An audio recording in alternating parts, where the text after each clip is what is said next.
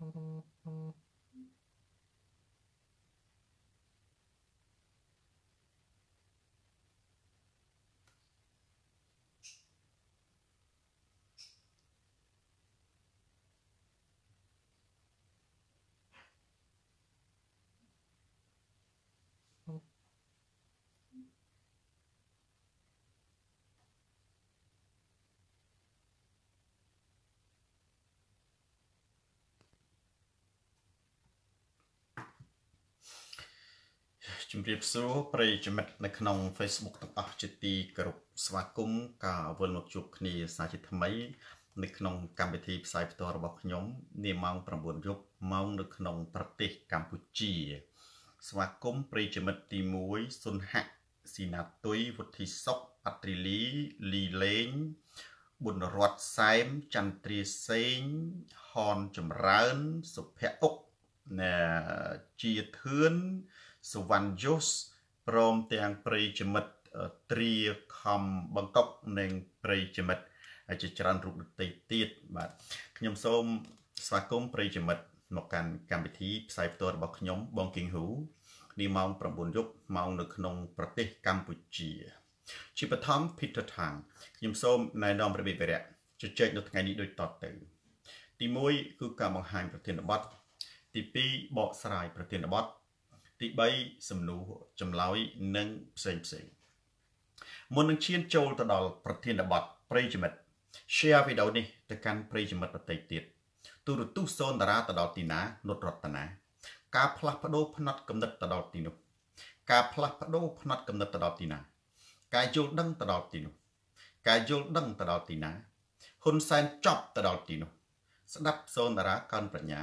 ស្ដាប់ខឹមវិសនាកើតខួរក្បាលឌីស ស្ដាប់ហ៊ុនសែនកើតរុកចិត្តទូរទស្សន៍សូនតារា ស្រាតខោជន់ផ្ដាច់ការ ផ្លាស់ប្ដូរផ្នត់កំណត់ខ្មៅណាស់និងជាងវីបាទប្រធានបទថ្ងៃនេះមាន2សំខាន់សំខាន់ដែលឆ្លើយតបទៅនឹងសភាពការដូចតទៅទី1រឿងមូលដ្ឋានទ័ពនៅចិនមូលដ្ឋានទ័ពចិននៅកម្ពុជាខ្ញុំ នៅក្នុងប្រធានបទទី1ដាក់សំណួរថា បើពេលសម្ដេចឈឺតើសម្ដេចត្រូវហៅអ្នកកសែតឲ្យមកពិនិត្យជំងឺ ឬក៏ទៅពេទ្យក្រសួងមហាផ្ទៃចេញលិខិតតាមចាប់សំរាំងស៊ីផេះប្រធានបទទី2សម្ដេច ជូនចៅទៅសាលាតើពិតដែរឬទេបើសិនជាពិតឬមិនពិតតើវាមានលក្ខណៈយ៉ាងដូចម្ដេចមានទស្សនៈខ្លះថា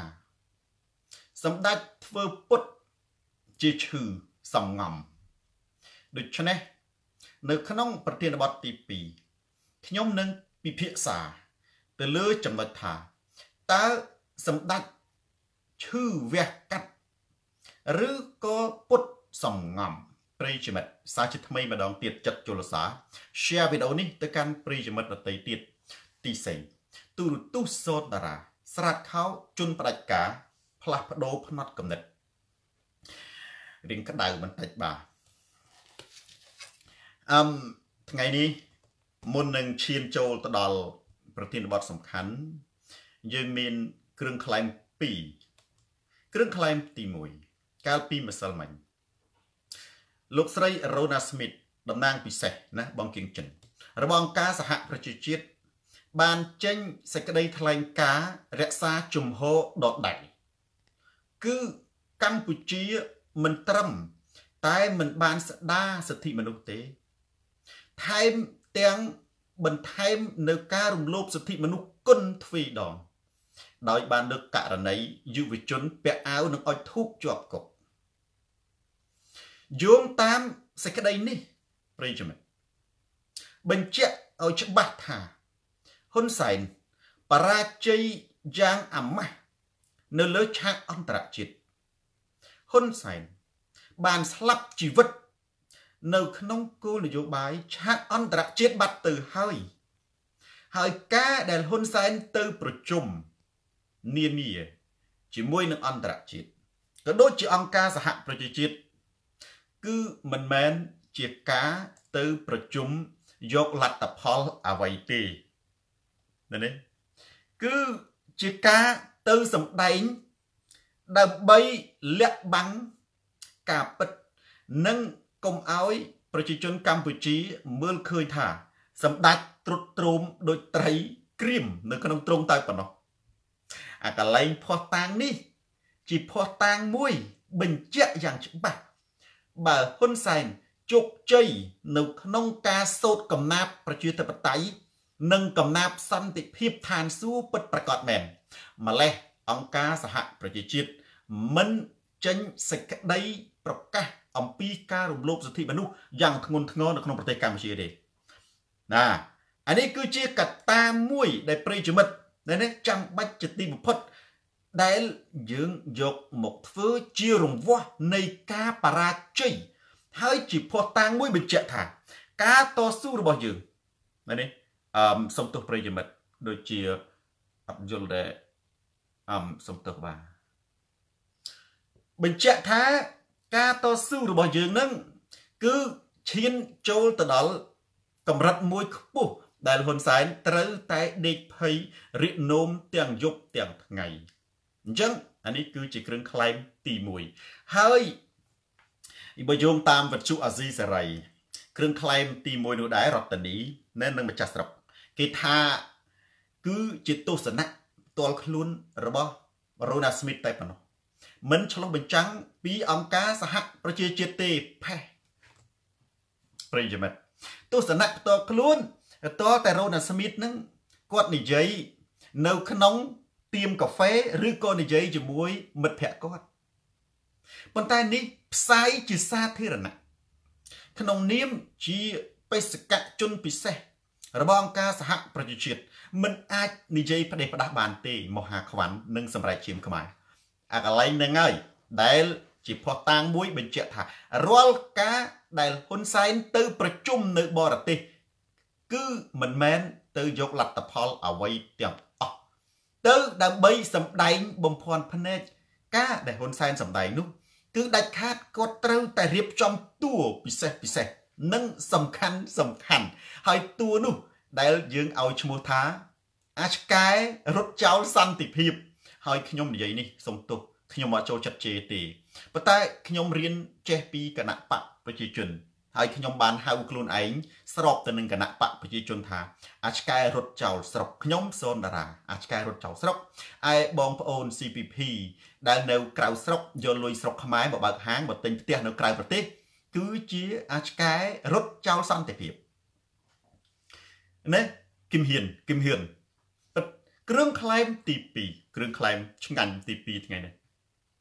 អនន្តយាតថ្ងៃនេះ បើសិនជាគាត់បានមើលទេក៏បានមើលទៅ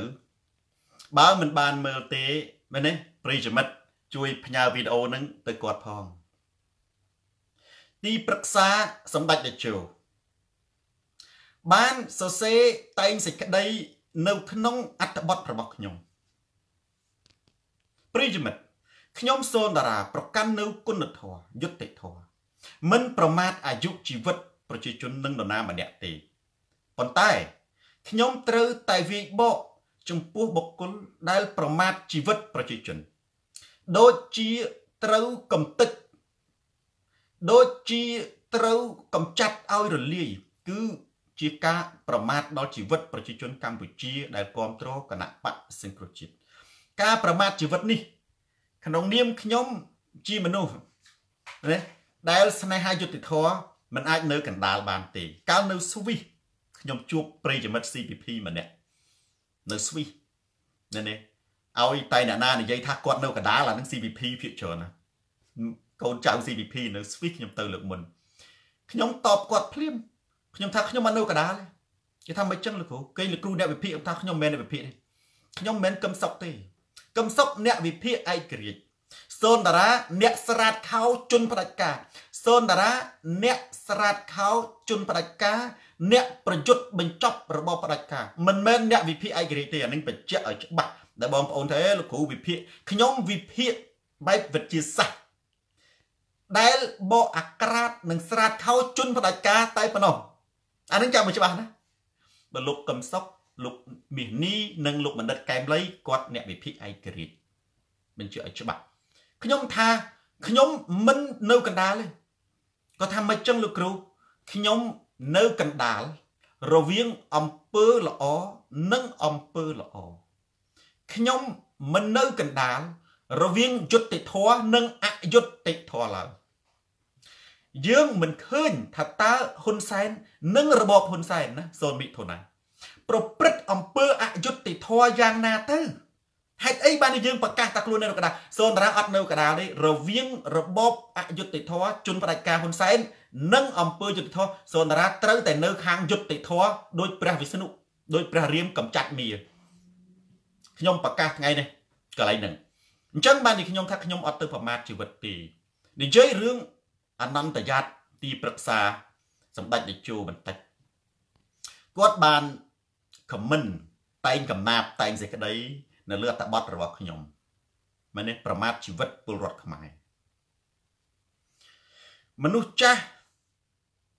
សរសេរវែងណាស់ធម្មតាមនុស្សចាស់វែងវាន់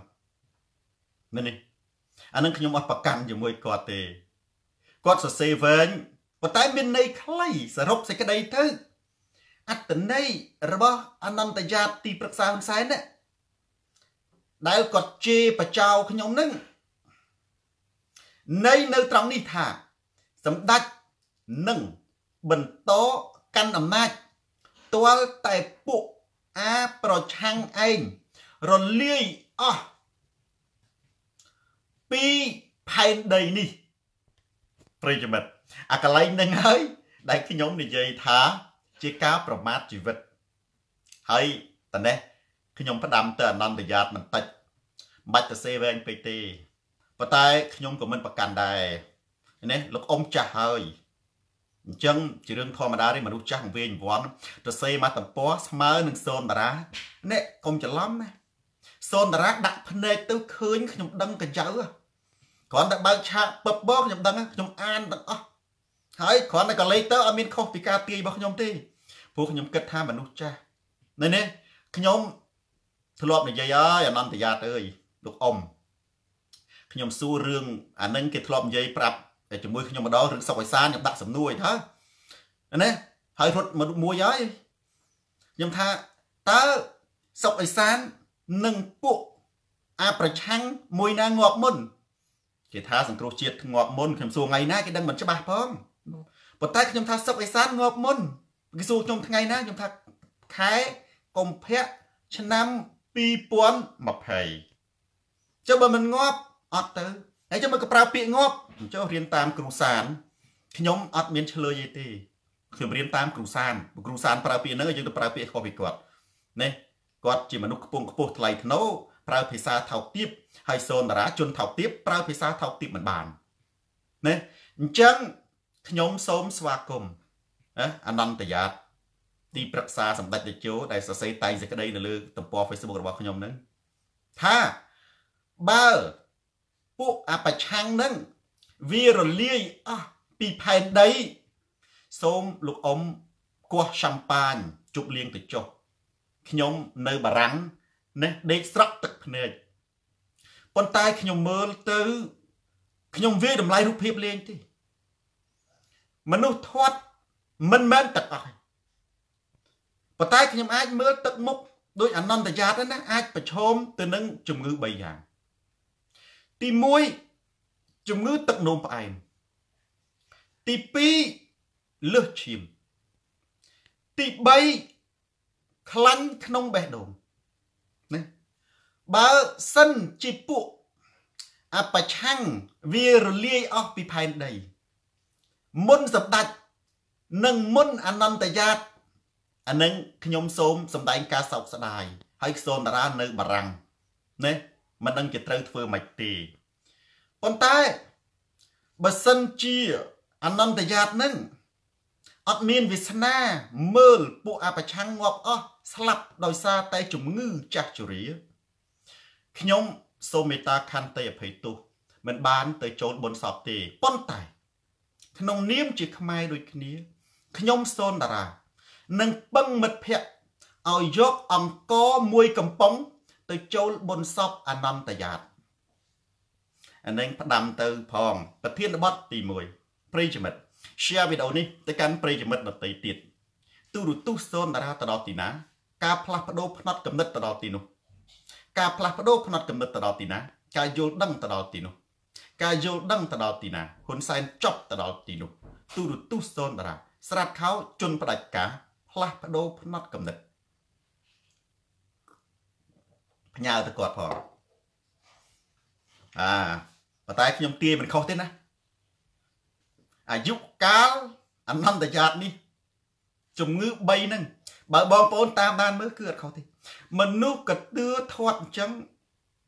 មានតែបេះដូងខ្លាញ់ក្នុងបេះដូងលើសឈាមលើសជាតិអាស៊ីតឬក៏ទឹកនោមផ្អែមហើយខ្ញុំជូនពរបើសិនជានៅ អាចរស់បានឃើញពួកអាប្រឆាំងរលាយអស់ពីផែនដី ចូលប្រធានបទក្តៅប្រិយមិត្តប្រហែលថ្ងៃនេះអត់បានធ្វើការផ្សាយផ្ទាល់ទេដោយសារជាប់រៀនជាប់ចុះស្តាគឺប្រធានបទដែលកាសែតដ៏ល្បីនៅសហរដ្ឋអាមេរិកនិងសន្តានទូតអាមេរិកក៏ដូចជាតំណាងឲ្យរដ្ឋាភិបាលអាមេរិកបានព្រួយបារម្ភថាជាពិសេសកាសែត Wall Street សរសេរអំពី កិច្ចព្រមព្រៀងសម្ងាត់មូលដ្ឋានទ័ពរបស់ចិននៅក្នុងប្រទេសកម្ពុជា ក្រោមផ្លាកអភិវឌ្ឍហើយមកដល់ចំណុចនេះរដ្ឋាភិបាល បានប្រកែកយ៉ាងដាច់អហង្ការទាបាញ់ចេញមុខជំនួសហ៊ុនសែនក្រសួងការបរទេសចេញមុខជំនួសហ៊ុនសែន ហើយផៃស៊ីផានក៏ចេញមុខជំនួសហ៊ុនសែនទៅបើកឆាកឲ្យអ្នកកសែត73អ្នកជាតិអន្តរជាតិចូលទៅកន្លែងយោធានៅរៀមមូលដ្ឋានទ័ពនៅសមុទ្ររៀមណែមកដល់ត្រង់នេះវាคล้ายទៅជាសំណួរមួយដែលគេសួរថាពិតឬមិនពិតតើមានកិច្ចព្រមព្រៀងសម្ងាត់ យោធាចិននៅលើទឹកដីកម្ពុជា រវាងហ៊ុនសែននិងចិនដែរទេអានឹងបញ្ជាក់ច្បាស់ប្រិយមិត្តមិនមែនរវាងកម្ពុជានិងចិនទេព្រោះកម្ពុជាប្រជាជនមានឯកភាពទេប្រជាជនគ្មានលុកខេតលុកសមុទ្រទៅឲ្យចិនទេណាប្រជាជនកម្ពុជា គឺឈរលើគោលការណ៍ប្រជាធិបតេយ្យនិងលុកខាងលិចអញ្ចឹងអានឹងគឺកិច្ចព្រមព្រៀងសម្ងាត់របស់ហ៊ុនសែនគណៈបកប្រជាជន និងរដ្ឋាភិបាលរបបហ៊ុនសែន100%គឺឆ្លើយថាមិនពិតប៉ុន្តែជាទស្សនៈរបស់ខ្ញុំខ្ញុំយល់ស្របជាមួយនឹងកាសែត Wall Street និងសហរដ្ឋអាមេរិកថាពិតហេតុអ្វីខ្ញុំមានហេតុផលមួយចំនួន ដែលបញ្ជាក់ប្រិយមិត្តថាពិតហើយប្រិយមិត្តមើលហេតុផលនេះទៅណាគឺឃើញច្បាស់ដូចថ្ងៃ ហេតុផលមួយចំនួននោះមានទី1សំណួរ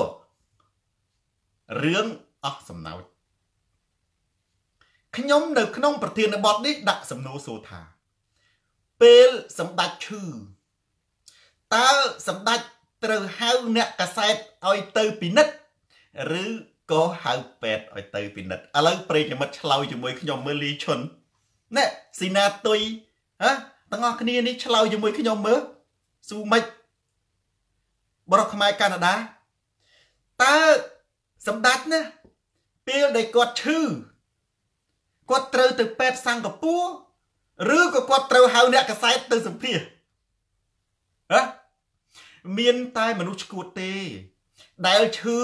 ទៅជួបអ្នកកសែតនោះ មានតែមនុស្សឈួតទេ ដែលឈឺហៅអ្នកកសែតឲ្យមកមើលនោះ មនុស្សឈឺគេទៅពេទ្យតាហើយចុះបឡានខូចទៅជាងណាខ្ញុំនិយាយនេះ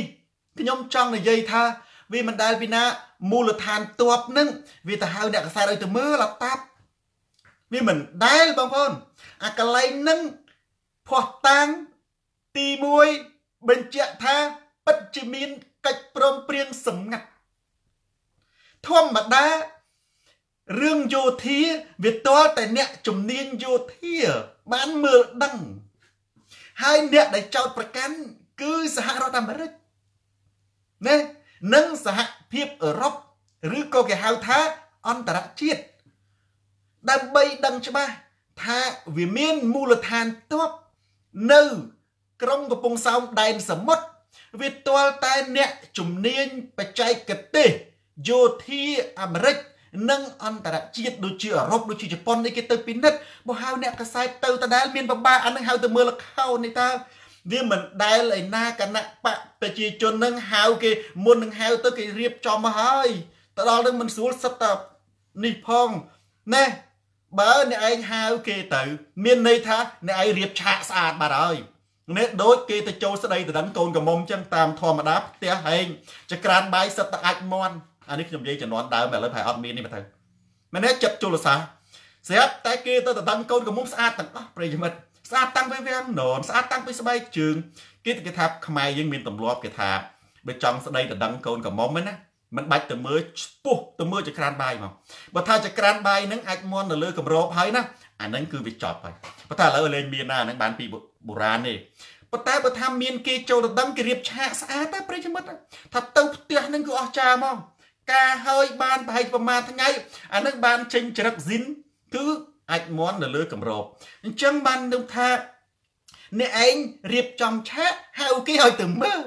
ហើយវាឈួតទៅទៀតណាគេថាអាតំបន់ហ្នឹង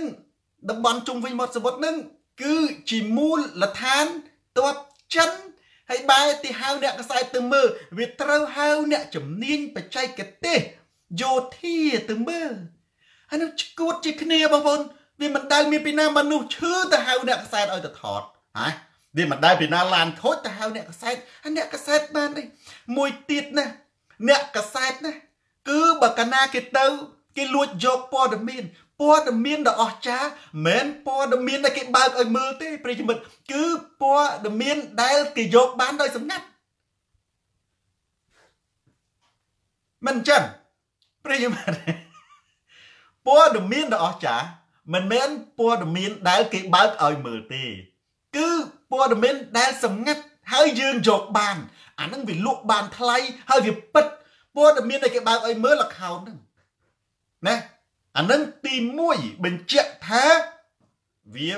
អាចជាការពិតដូចកសែត Wall Street ថាយ៉ាងដូចឆ្នោះមែនព្រោះតាំងទី2 ពេលដែលគេញ៉ាស់ចំអកឲ្យទាបាញ់ថាម៉េចមិនប្តឹងទាបាញ់ឆ្លើយថាអត់ប្តឹងអាកសែតនឹងទេព្រោះរឿងដដែលដដែលបើកសែតនោះ យើងដាក់សំណួរសួរវិញថា គេមិនខ្លាចរដ្ឋាភិបាលប្តឹងទេហ៎ចម្លើយទំនងជាគេមានមូលដ្ឋានភ័ស្តុតាងច្បាស់លាស់បើទាបាញ់ហ៊ានប្តឹង អានឹងគឺយកកតលនតាហើយទាបាញ់រដ្ឋាភិបាលរបបហ៊ុនសែនទំនងជាដឹងថា បើអញហ៊ានប្តឹងដូចធ្វើឲ្យរឿងហ្នឹងកាន់តែបែកទៅបែកទៅដូចយកដុំថ្មគប់ចំពពាយគេហៅថាគប់ចំនៅវងសមោចដែលកំពុងតែដេកឲ្យវារត់ខំបដ ாய்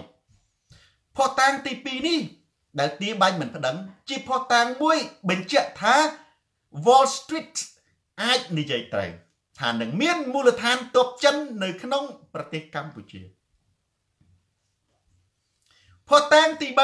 3យោងតាមស្ថានទូតចិនខ្លួនឯងដែលបានឆ្លើយតបទៅនឹងសហរដ្ឋអាមេរិកដែលនិយាយបំផ្លើសអំពីកិច្ចសហប្រតិបត្តិការកម្ពុជាចិនប្រិយមិត្តពាក្យការទូតខ្ញុំគ្រាន់តែចង់ជម្រាបជូនប្រិយមិត្តបន្តិចទៅចុះ គ្រាន់តែចិនប្រើពាក្យមួយម៉ាត់តាស្មើនឹងទទួលស្គាល់ថាមានមូលដ្ឋានតបចិននៅកម្ពុជាបាត់ទៅហើយពាក្យអ្វីច័ន្ទហេងសហប្រតិបត្តិការពាក្យថាមូលដ្ឋានតបអានឹងគឺជាពាក្យចំឯពាក្យដែលការទូតគឺសហប្រតិបត្តិការអាសហប្រតិបត្តិការហ្នឹងហើយ ដែលជាការចែកចាយកម្លាំងចែកមូលដ្ឋានទ័ពចែករំលែកសកម្មភាពនយោបាយទ័ពនៅលើទឹកដីសមុទ្រនៅក្នុងប្រទេសកម្ពុជានេះចិននិយាយទៅនឹងចិនអត់បានប្រកែកទេ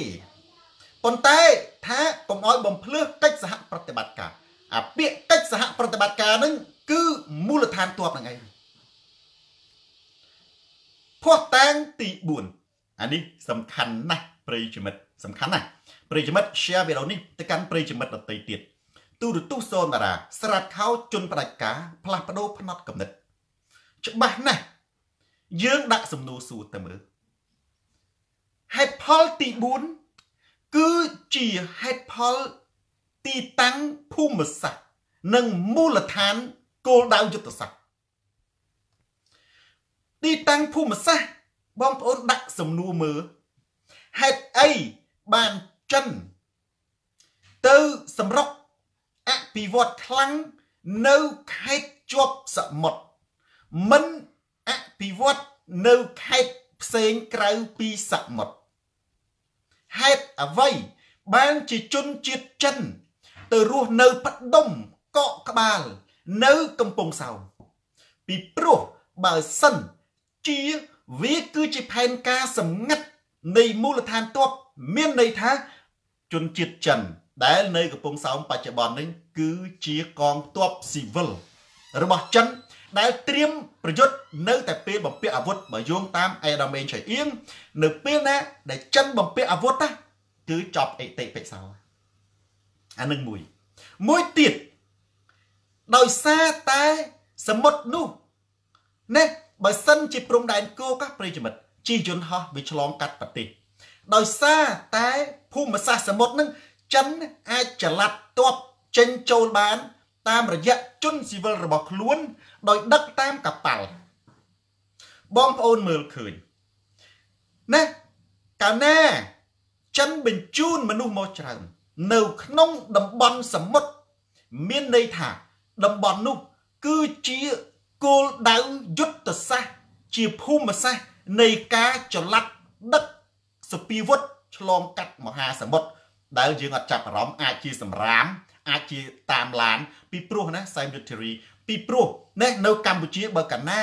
ត្រូវជាមួយចិនហើយចិនចង់ដឹកលុយដឹកអាភៀនអ្នកដឹកអាវុធចូលក្រុងកំពង់សោមក៏អត់បញ្ហាដែរអារឿងតបតែពាក់លីអូក៏បានដែរសំខាន់បំពាក់អាវុធតាមក្រោយនេះមិនបាច់ចាំតនុយទាហានក៏បានដែរហើយអ្នកតនុយទាហានខ្លះគឺខ្លាយខ្លាយទេហេតុផលទី4នឹងដែលនរណានរណាក៏ឃើញជាក់ស្ដែងដែរថាភូមិសាស្ត្រនៅមាត់សមុទ្របច្ចុប្បន្ននឹងត្រូវចិនកាន់កាប់លែងកាន់កាប់ដោយខ្មែរហេតុផលទី5 ហេតុផលទី5នេះយើងឲ្យឈ្មោះថាហេតុផលទស្សនវិស័យប្រិយមិត្តអានេះសំខាន់ហេតុអីហេតុផលទស្សនវិស័យនឹងប្រិយវែងបងប្អូនមែនទេអ្នកនាងម៉ាលីសបើកាណាចិនណាចង់ដាក់មូលដ្ឋានទ័ពនៅកម្ពុជា ដោយយកសមុទ្រកំពង់សោម កោះកុងកពតជាមូលដ្ឋានធំណាគេមិនដែលទៅដាក់ឥឡូវនឹងទេ គឺគេត្រូវធ្វើរូបភាពជាតំបន់ទេសចរឬក៏ធ្វើរូបភាពជាតំបន់អភិវឌ្ឍហើយរូបភាពតំបន់ទេសចរតំបន់អភិវឌ្ឍនោះគ្រាន់តែជាសម្បកសម្រាប់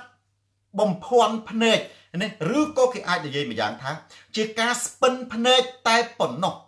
ហេតុអ្វីពីព្រោះដើម្បីដាក់ទ័ពបាន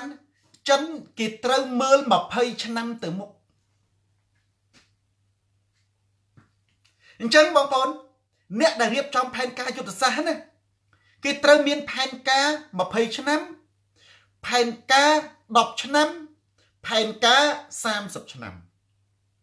ចិនដែលដាក់នៅក្នុងប្រទេសកម្ពុជាទី1គឺគេដណ្ដើមតំបន់ភូមិសាស្ត្របានសិន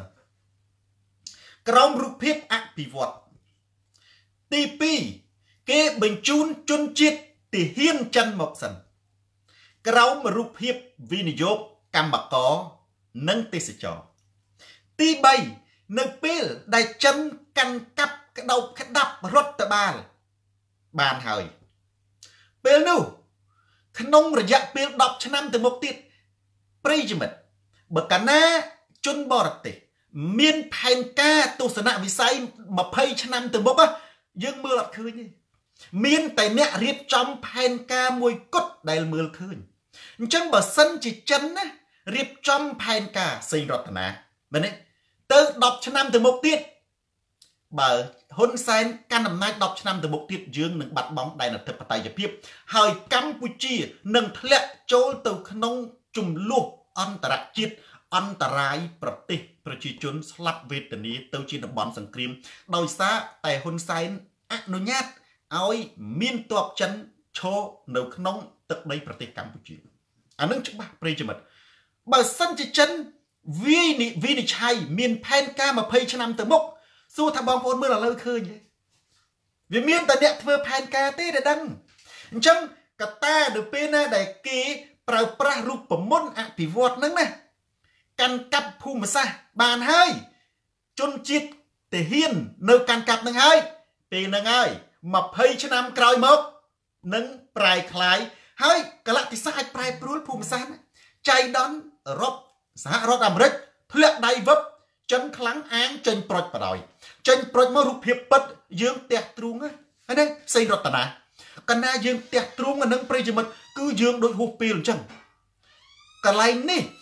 អាចំណុចទី5នេះប្រិយមិត្តអាចំណុចទស្សនវិស័យដែលយើងមើលមិនឃើញរវាង20ឆ្នាំទៀតណាវាស្របទៅនឹងអ្វីវាស្របទៅនឹងសាររបស់លោកសំរងស៊ីប្រធានស្ដីទីគណៈបកសង្គ្រោះជាតិស្របត្រង់ណាលោកសំរងស៊ីនិយាយខ្លី តែ2ចំណុចទេដែលគាត់បញ្ជាក់ថាមូលហេតុដែលហ៊ុនសែនឲ្យចិនដាក់អាណានិគមយោធានៅកម្ពុជា ដោយសារតែទី1ចំពាក់លុយចិនវ័នកអត់អីសងដូច្នេះមានតែលក់ប្រទេសឲ្យទៅចិនដើម្បីសងចិនទៅវិញ ហើយអ្វីដែលសំរងស៊ីនិយាយនេះ មិនមែនជាការបំផ្លើសទេប្រិយមិត្ត កើតមានរួចមកហើយឥឡូវនេះកំពុងតែកើតមាននៅប្រទេសអាហ្វ្រិក4 10ប្រទេសហើយនៅស្រីលង្កាកើតមានហើយអ្វីដែលសំរងស៊ីនិយាយមិនមែនលក្ខណៈបញ្ចោចបញ្ចើបំផ្លើសមិនមែនលក្ខណៈស្រមៅស្រមៃទេហើយបងប្អូនណាមិនដឹងនៅក្នុងនេះដែលនិយាយថាប្រទេសស្រីលង្កាបាត់បង់កំពង់ផែបងប្អូនណាមិនដឹងនៅក្នុងប្រទេសអាហ្វ្រិកប្រមាណជិត10ប្រទេសត្រូវកាន់កាប់ដោយចិនបាត់បង់ភាពជាម្ចាស់អានឹងជាការពិតដោយសារអត់អីសងគេ ត្រូវយកប្រទេសជាតិលុកអានេះបើយោងតាមសំរងស៊ីវាស្របទៅនឹងទស្សនវិស័យពីព្រោះបងប្អូនមនុស្សឆ្លាតណាគេធ្វើការយើងមើលអត់ដឹងទេទស្សនវិស័យគេវែងឆ្ងាយយើងមើលទៅឃើញធម្មតាប៉ុន្តែលទ្ធផលរបស់គេគឺខុសពីយើងណាខុសពីយើងឃើញទេគេរៀបចំយុទ្ធសាស្ត្រអាច50ឆ្នាំ100ឆ្នាំក៏យើងក៏អត់ដឹងដែរចំណុចទី2លោកប្រធានសំរងស៊ីគាត់និយាយថា ដោយសារតែហ៊ុនសែនចង់យកចិនមកការពីអំណាច ពីព្រោះតែគាត់បាត់បង់ការគ្រប់គ្រងពីប្រជាជន និងសហភាពអឺរ៉ុបបើបាត់បង់ការគ្រប់គ្រងពីប្រជាជននិងសហភាពអឺរ៉ុបដោយប្រទេសផ្ដាច់ការនានាគឺមានតែយកចិនធ្វើក្នុងបង្អែកអញ្ចឹង6ចំណុចនេះប្រិយមិត្តមែនទេសរុបសេចក្តីមកខ្ញុំដាក់សំណួរសួរទៅប្រិយមិត្តវិញណា កាជីម៉ម៉ែននិងសុភត្រាតើប្រិយមិត្តឆ្លើយមើលទៅមើលវីដេអូនេះហើយស្ដាប់ហេតុផលសូនតារា6ចំណុចហ្នឹងណាតើពិតឬមិនពិតមានមូលដ្ឋានទ័ពចិននៅក្នុងប្រទេសកម្ពុជាពិតវាពិតបាត់ទៅហើយនេះនេះគ្រាន់តែហេតុផល6ចំណុចដែលខ្ញុំលើកឡើងនេះឥឡូវបើអ្នកឯងខ្លាំង ណាគណៈបកប្រជាជនជួលតែពួកប្រហុកទៅទេដូចផៃសិផានេះប្រហុកទេនឹងបានពីចំនួនដើមទេមែនទេអ្នកឯងរកកំណត់អីណា ដែលមកប្រឆាំងជាមួយសូនតារាមកឥឡូវសូនតារាលើក6ហេតុផលលបាញ់មិននេះហើយនេះបងប្អូននៅលើកគប់តែម្ដងប៉ុន្តែខ្ញុំឲ្យនៅជើងខ្លាំងគណៈបកប្រជាជនមានផៃសិផានក៏ដោយ មានឈឹមផលវរុនក៏ដោយមែនទេមានសុកអេសានក៏ដោយលើកយកហេតុផលបើអ្នកឯងជាមនុស្ស ជាបញ្ញវន្តជាអ្នកមានប្រាជ្ញាមែនយកមកទប់ទល់ជាមួយសូនតារាហើយបង្ហាញថាអ្វីដែលសូនតារានិយាយខុសយកមកមែនទេអត់មានអីក្រៅតែពីជេរដាក់បដាសាហើយនឹងគម្រាមចាប់ដាក់គុកទេព្រោះអានឹងវាធម្មតាទេបើនេះអាពតក៏វាធ្វើចឹងដែរបើមានចម្លែកទេរឿងគេថាពតសម្លាប់នោះហើយក៏អត់មានចម្លែកទេប៉ុន្តែចម្លែកបំផុតតើអ្នកឯងអាចបកស្រាយ6ចំណុចដែលខ្ញុំនិយាយនេះបានដែរឬទេបើមិនបានណា ច្បាស់ណាស់ថាមូលដ្ឋានទ័ពចិន គឺពិតជាមាននៅក្នុងប្រទេសកម្ពុជាប៉ុន្តែមិនមែនឥឡូវនេះទេ ជាទស្សនវិស័យចិន20ទៅ10 20ឆ្នាំទៅ30ឆ្នាំខាងមុខទៀតអញ្ចឹងចិនដើម្បីមានទស្សនវិស័យកាន់កាប់មូលដ្ឋានទ័ពពីព្រោះចិនដណ្ដើមមហាអំណាចជាមួយសហរដ្ឋអាមេរិកដែរតើ បើសិនជាចិនយកសមុទ្រខ្មែរបានអានឹងមានន័យថាចិនណាអាចគ្រប់គ្រងតំបន់អាស៊ានទាំង10ប្រទេសបង្កហានិភ័យនឹងអាចដាក់មូលដ្ឋានទ័ពហើយយើងមិនដឹងនេះ30ឆ្នាំទៅមុខទៀតយើងមិនដឹងព្រោះឥឡូវហ្នឹងចិនកាន់កាប់ដីអស់លីងហើយដីយើងលក់ឲ្យតើនៅខេត្តកំពង់សោមសេរតនាហើយនេះកពតកោះកុងលេងជីកខ្មែរណាឥឡូវយើងបងប្អូននឹងសួរដីទលំទលឿយដាច់កតុយភ្នែកតែមានបោះបកគោលសួរដីនរណាហ៎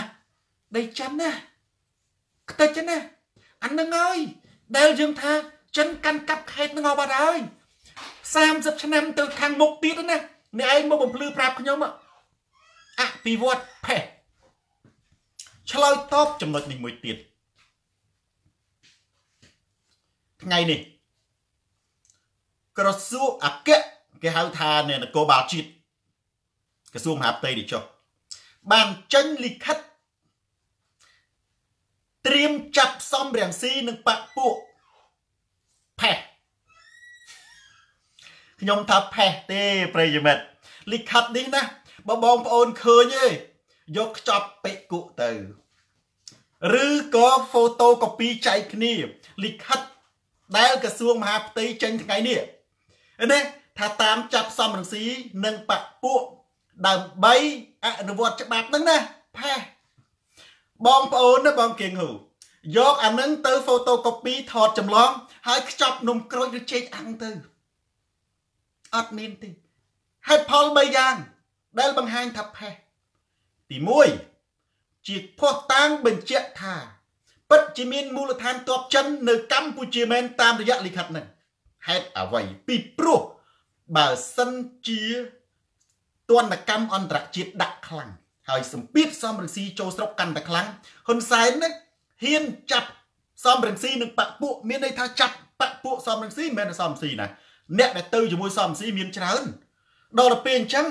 អានឹងវាមិនចាប់ទាំងសភាអឺរ៉ុបវាចាប់ទាំងតំណាងរាស្ត្រនៃអាមេរិកអានឹងហើយវាតតែហ៊ុនសែននឹងជាអាយ៉ងដាច់របស់ចិនហើយហ៊ុនសែនអាងថាមានចិននៅពីក្រោយខ្នងវាច្បាស់ណាស់ នេះជំទាវតូចថាមានមូលដ្ឋានទ័ពចិនរឹតតែច្បាស់កន្លែងហ្នឹងទី1ទី2ផេះប្រទេសកម្ពុជាជាសមាជិករបស់អង្គតប៉ូលតើ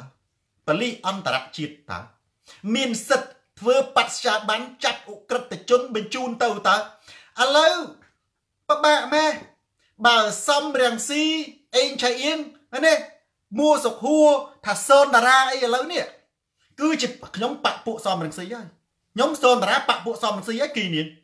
បើដឹងច្បាស់ណាស់កុំចាំបាច់ទៅយកលិខិតនឹងអាលិខិតនឹងខ្ចប់ពេកគក់ទេខ្ចប់នំគ្រក់អេនំគ្រក់ខ្ចប់អត់បានទេខ្ចប់ចេកជៀនទេមែនទេអានេះបើនិយាយភាសាបបាក់ស្ដាប់ទៅ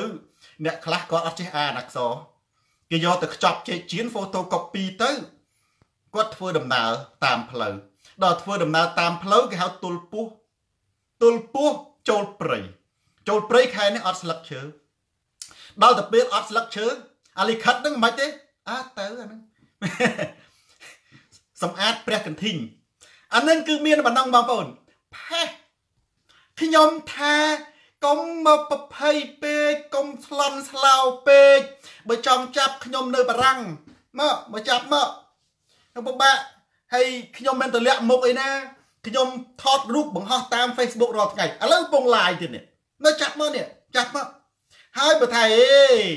ប៉ូលីសអង្គទេពូលណាគេអត់រវល់ទេហ៊ុនសែនលាក់ហើយគេមិនដែលរវល់ជាមួយហ៊ុនសែនទេបងប្អូនបើថាអានឹងអ ுக ្រិតកម្មគ្រឿងញៀនជួញដូរមនុស្សលៀងលុយខ្មៅអានឹងបើចាប់ចាប់ដោយបាក់ពួកហ៊ុនសែនទាំងអស់បើគេចាប់គឺចាប់បាក់ពួកហ៊ុនសែនបើយោងតាមសខេង ពីព្រោះសខេងថាកម្ពុជាលៀងលុយខ្មៅហើយអ្នកដែលមានលទ្ធភាពអាចលៀងលុយខ្មៅរាប់ពាន់លានដុល្លារបានស្មានក្បាលសូនតារាឥឡូវខ្ញុំសួរមើលមើលក្បានស្បាក់ក្បាលនៃ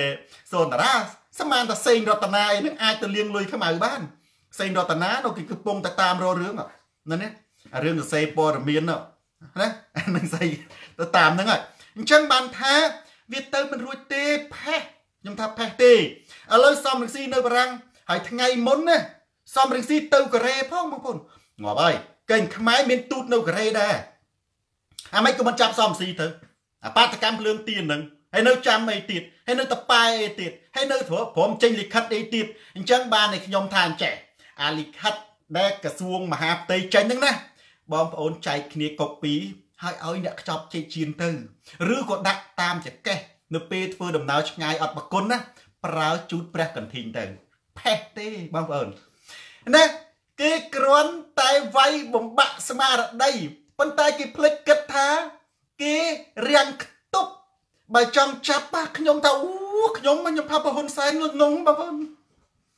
ខ្ញុំបើចង់ចាប់សំស៊ីខ្ញុំធ្វើទៅសើសំរងស៊ីឲ្យសំរងស៊ីចូលស្រុកមកសូមឯអាដាមចូលមកចុះអំណាចទៅលើហ៊ុនសែននេះតើឈួត អីចង់ចាប់មនុស្សគិតតែមួយថ្ងៃមួយថ្ងៃគិតតែពីចេញលិខិតបំភ័យអាបំភ័យភ័យខ្លួនឯងទេអានឹងនោះវាអត់មានអីទេផេះទី2បាទផេះទី3គឺជាភ័ស្តុតាងបង្ហាញរឹតតែច្បាស់ថា3យ៉ាង ទី1ហ៊ុនសែនដុនដាបធ្ងន់ធ្ងរដេកមិនលក់ទាំងយប់ ទាំងថ្ងៃភ័យ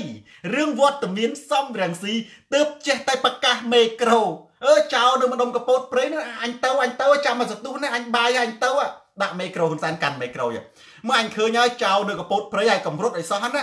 ចាំអញបាយមកឆ្អែតសិនផឹកទឹកអំពៅសិនហើយបើសិនជាអញអត់ទាន់បានទៅទេចាំម៉ែមកពីផ្សារសិនអញទៅចាប់ឲ្យអង្គុយនៅនឹងសិនណាគួតចៅវាទៅបាត់ហើយ បើចង់ចាប់សំស៊ីងាយតើទី1ដែលខ្ញុំថាមិញនឹងវាមានបលិអន្តរជាតិសំស៊ីទៅដល់កូរ៉េមានក៏ចាប់បានហើយឥឡូវបាច់កូរ៉េក៏បានដែរឲ្យតែយើងមាននៅអបត្តិសាបានរៈជាតិខ្ញុំនៅបារាំងខ្ញុំអង្គុយខ្ញុំផុសរាល់ថ្ងៃហើយមិនមិនមកចាប់ទៅម៉ែដូចអេងឆាអៀងឯនៅអាមេរិកឯណោះមិនទៅចាប់ទៅផេះទេអានេះចឹងទី3នេះបញ្ជាក់ថាហ៊ុនសែនណាស្លន់ស្លោរង្គោះរង្គើផ្ទៃក្នុងហើយ អាចនឹងមានអ្នកត្រៀមមិនហ៊ុនសែនមិនទុកចិត្តទេ ពីព្រោះប្រិយមិត្តធម្មតាណាបើកណាប្រជាជនកម្ពុជាក្រោកឈរទៅដើរតាមសំរងស៊ីដូចវងគោទៅហើយអានឹងខ្ញុំជឿបងប្អូនអាចមិនជឿ100%បងប្អូនកងកម្លាំងប្រដាប់អាវុធណានឹងនៅខាងប្រជាជនហើយ មេបញ្ជាការដែលស៊ីលុយរាប់មានលុយរាប់ពាន់លានដុល្លារបញ្ជាក៏លែងស្ដាប់ដែរខ្ញុំគាត់តែប្រាប់ទេបងប្អូនមនុស្សបាញ់ប្រជាជនឲ្យញើតដៃនឹងនៅខាងប្រជាជនហើយគេថាអ្នកអាដាមសនីទាំងអស់អាដាមសនីមិនដែលមាន10000នាក់កងទ័ពមាន150,000នាក់ហ្នឹងឧទាហរណ៍កងអាដាមអាដាមសនីម្នាក់នេះបញ្ជីកងពល100អា100ហ្នឹងមានតែ2នាក់អត់ស្ដាប់ដាក់អាដាមសនីហ្នឹងពុជដេកពោកទៅអាផ្សេងទៀតទៅហើយអាហ្នឹងមើលអត់ឃើញទេណា បើកាលណាប្រជាជនឡើងដល់1លានអ្នកហើយណាប្រិយមិត្តនៅលើប្រទេសប្រទេសណាក៏ដោយគឺកងទ័ពងាកទៅប្រជាជនហើយកងទ័ពងាកទៅប្រជាជនហើយអាដាមសនីរត់អស់លីងមកអាអ្នកឈរបញ្ជាក៏បុកពោះដែរមនុស្សសំខាន់ក៏ភ្លើងងាកតើបាញ់បាញ់អើបាញ់មែនបាញ់អាអ្នកបញ្ជានឹងពុជដួលមួយទៅអានោះឃើញដួលខ្ពកមួយ ក្រុមទាំងអង្គច្បេច្បាហើយបើសបេសបាវាមានតហើយនេះបោះឯខុំលេខឯកូនកាត់ មេណាហ៊ានបញ្ជាតទៀតឥឡូវខ្ញុំសួរមើលហ่ะតំបន់មួយទៀតអូទៅទៀតអាណាអត់បញ្ជាអញបាញ់ចោលអើមិនទាន់បានបាញ់បានដាក់ពីក្រោយពុកកញ្ចឹងកបកាប់មុខមេបញ្ជាការនឹងមួយទៀតបើមេបញ្ជាការណានៅក្នុងគណៈបកប្រជាជនហ្នឹងវាមានអ្នកដែលអ្នកខ្លះគេឃើញអញ្ចឹងទៅបដ ாய் អ្នកអានឹងគឺជាចរន្តមួយដែលហ៊ុនសែនខ្លាចបំផុតហើយអាការខ្លាចហ្នឹងយើងដឹងតាមរយៈអីដឹងតាមរយៈអលីខិតផេះផេះ បើគេចាក់អាកន្លែងណា បើគេបាំងអាកន្លែងណាថាបុកអាតនឹងទៅអានឹងតបៅទេបងប្អូនបើគេបើគេបក់បើគេការពារអាកន្លែងណាណាបើគេគោអញ្ចឹងបើគេបក់កតុយតាណាហ្នឹងណាបើយើងចង់ឲ្យគោនឹងឈឺណាថាចាក់អាតនឹងទៅអានឹងកតុយគោតើអាលិខិតក្រសួងមហាផ្ទៃចេញចាប់សំរងស៊ីហ្នឹងអានឹងកតុយគោទេមិនអញ្ចឹងតបៅយើងត្រូវធ្វើមិនចាក់បដ ாய் ទៅចាក់ទៅគណៈបកសង្គ្រោះជាតិ នឹងចូលប្រទេសកម្ពុជា នៅខែ9អត់មានកែប្រែអីទេ ហើយបើថាឈឺទៅពេទ្យទៅហើយបើថាមិនទាន់ឈឺទេនៅអង្គុយចាំមើលជាពិសេសទីប្រឹក្សាហ៊ុនសែនចូលជាបចោសូនរាណាអនន្តយាណាចាស់ហើយធាត់មានជំងឺច្រើនណាស់លើសឈាមផង ទឹកនោមផ្អែមផង ខ្លាញ់ក្នុងបេះដូងផងឡើងជាតិអាស៊ីតផង ប្រយ័ត្នស្លាប់អត់បានមើលពួក អាប្រឆាំងរលាយអស់ពីផែនដីប៉ុន្តែបើអនន្តយាស្លាប់ខ្ញុំប្រើពាក្យស្លាប់ទៅចុះពីព្រោះគាត់ប្រមាថគណៈបកសង្គ្រោះជាតិមួយនគររលាយអស់ពីផែនដីណាខ្ញុំមិនទាន់ខ្ញុំថាខ្ញុំកែពាក្យអត់ប្រើពាក្យងាប់ដូចគ្រូសាទេខ្ញុំថាបើអនន្តយាស្លាប់ណាដោយសារតែវត្តមានសំរងស៊ីនៅក្នុងប្រទេសកម្ពុជាណាខ្ញុំសូនតារាមិនបានទៅដោយផ្ទាល់នឹងផ្ដាំមិត្តភ័ក្តិឲ្យយក អង្គមួយកំប៉ុងទៅចូលបនសពឯកឧត្តមអនន្តយាតហេប្រធានបទទី2អូថ្ងៃនេះប្រធានបទទី2ប្រិយមិត្តដាក់សំណួរមានមន្ទិលម្សិលមិញមានអត្តបទជាច្រើន បានចុះផ្សាយថាសម្ដេចតេជោមាន fresh news វាយោងតាមដោយយោងតាម ទំព័រ Facebook សម្ដេចតេជោផងដែរបរិបខ្មែរកាណាដានិងពិសិដ្ឋមុននុនសម្ដេចជូនចៅទៅឡើងយន្តហោះប្រិយមិត្តកន្លែងនេះខ្ញុំមើលទៅខ្ញុំអស់សំណោចណាស់ខ្ញុំអស់សំណោចមែនតើក៏មានប្រិយមិត្តមួយចំនួនយករូបថតហ្នឹងទៅផុសបន្តថាសម្ដេច គាត់ខឹងណាណាហ៊ុនសែនពិតជាចោលម៉ាស៊ីតមែនសុកចិត្តលុបកិច្ចប្រជុំគណៈរដ្ឋមន្ត្រី ដែលជាកិច្ចការជាតិធំប្រពន្ធណាណីទៅជូនចៅឡើងយន្តហោះខុសខ្ញុំថាខុសអ្នកណាដែលនិយាយថាហ៊ុនសែនលុបកិច្ចប្រជុំគណៈរដ្ឋមន្ត្រី ដើម្បីជូនចៅទៅឡើងយន្តហោះ គឺខុសចុះអ្វីទៅចម្លើយឲ្យត្រូវចម្លើយឲ្យត្រូវនៅក្នុងប្រធានបទនេះណែខ្ញុំបានដាក់សំណួរថាអញ្ចេះតើហ៊ុនសែនឈឺវះកាត់ឬក៏ពុតសំងំ មានប្រិយមិត្តគាត់ផ្ញើសារសួរខ្ញុំគាត់ថាមានអ្នកវិភាគខ្លះថាហ៊ុនសែននឹងពុត ជាយុទ្ធសាស្ត្រសំងំខ្ញុំសូនតារាមិនមែនអ្នកវិភាគទេសូនតារាជាមនុស្សទេពភ្នែកទឹកហើយបើចុះបើសិនជាមានគេថាអញ្ចឹងតើគេខុសទេសេងរតនានិងបងគៀងហ៊ូអត់ខុសទេមិនអញ្ចឹងពាក្យថាវិភាគវាមានខុសវាមានត្រូវ បើវិភាគវាគិតតែពីត្រូវអានឹងគេមិនហៅវិភាគទេគេហៅវិទ្យាសាស្ត្រចុះបើវិភាគខុសអើខុសខុសទៅធ្វើមិនចោះ អញ្ចឹងអានេះជាសេរីភាពនៃការកំណត់បើមាន អ្នកមានទស្សនៈថាហ៊ុនសែនណាមិនឈឺទេគឺសំងំពុតណាដើម្បីទប់ទល់យុទ្ធសាស្ត្រសំរងស៊ីផេះអើមិនបាត់សូនតារាថាខុសពុសូនតារាមនុស្សទេពភ្នែកទឹកខ្ញុំភ្នែកទឹកខ្ញុំធ្លាប់និយាយមួយសុកឯសានហើយគេសួរតើលោកគ្រូមិនបាននឹងសុកឯសានងាប់នៅខែកុម្ភៈនៅខែមករា2020ខ្ញុំថាខ្ញុំមនុស្សទេព ខ្ញុំភ្នែកទឹកឥឡូវខ្ញុំបង្ហាញហេតុផលមាន4ហេតុផលដែរមាន4ហេតុផលដែរម្សិលមិញនេះខ្ញុំបានសរសេរអត្ថបទមួយ ថារូបថតដែលហ៊ុនសែនផុសនោះ គឺជារូបថតចាស់ទេខ្ញុំថាពីព្រោះខ្ញុំចង់មើលប្រតិកម្មហ៊ុនសែន ហើយនឹងយកព័ត៌មានពិតថាតើរូបថតដែលហ៊ុនសែនទៅពលានយន្តហោះនោះណាវាមានការពិតកម្រិតណា ដល់តែខ្ញុំស្រាវជ្រាវទៅពិតខ្ញុំស្រាវជ្រាវទៅពិតប៉ុន្តែរូបថតណាហ៊ុនសែនក៏ចូលចិត្តលេងអាក្បាច់ពិតដូចមិនពិតមិនពិតដូចពិតប៉ុន្តែឲ្យតែឆ្លងភ្នែកមនុស្សទឹកសូនតារា គឺខ្ញុំមើលធ្លុះទាំងអស់ណា បើសម្រាប់ក្រុមមកត្រឹមត្រូវឬក៏ងុកវាង អាចឲ្យហ៊ុនសែននឹងបោកបានថាពិតដូចមិនពិតមិនពិតដូចពិតប៉ុន្តែភ្នែកមនុស្សទេពសូនតារានេះណាគឺពិតនិងពិតមិនពិតគឺមិនពិតហេតុផល ដែលខ្ញុំនិយាយថាទី1ហ៊ុនសែនមិនមែនលុបកិច្ចប្រជុំគណៈរដ្ឋមន្ត្រីទៅជូនចៅទេហ៊ុនសែនមិនអាច ប្រជុំគណៈរដ្ឋមន្ត្រីបាន ដោយសារតែគាត់ឈឺឆ្អឹងវះកាត់មិនអាចអង្គុយបានទេបើអញ្ចឹង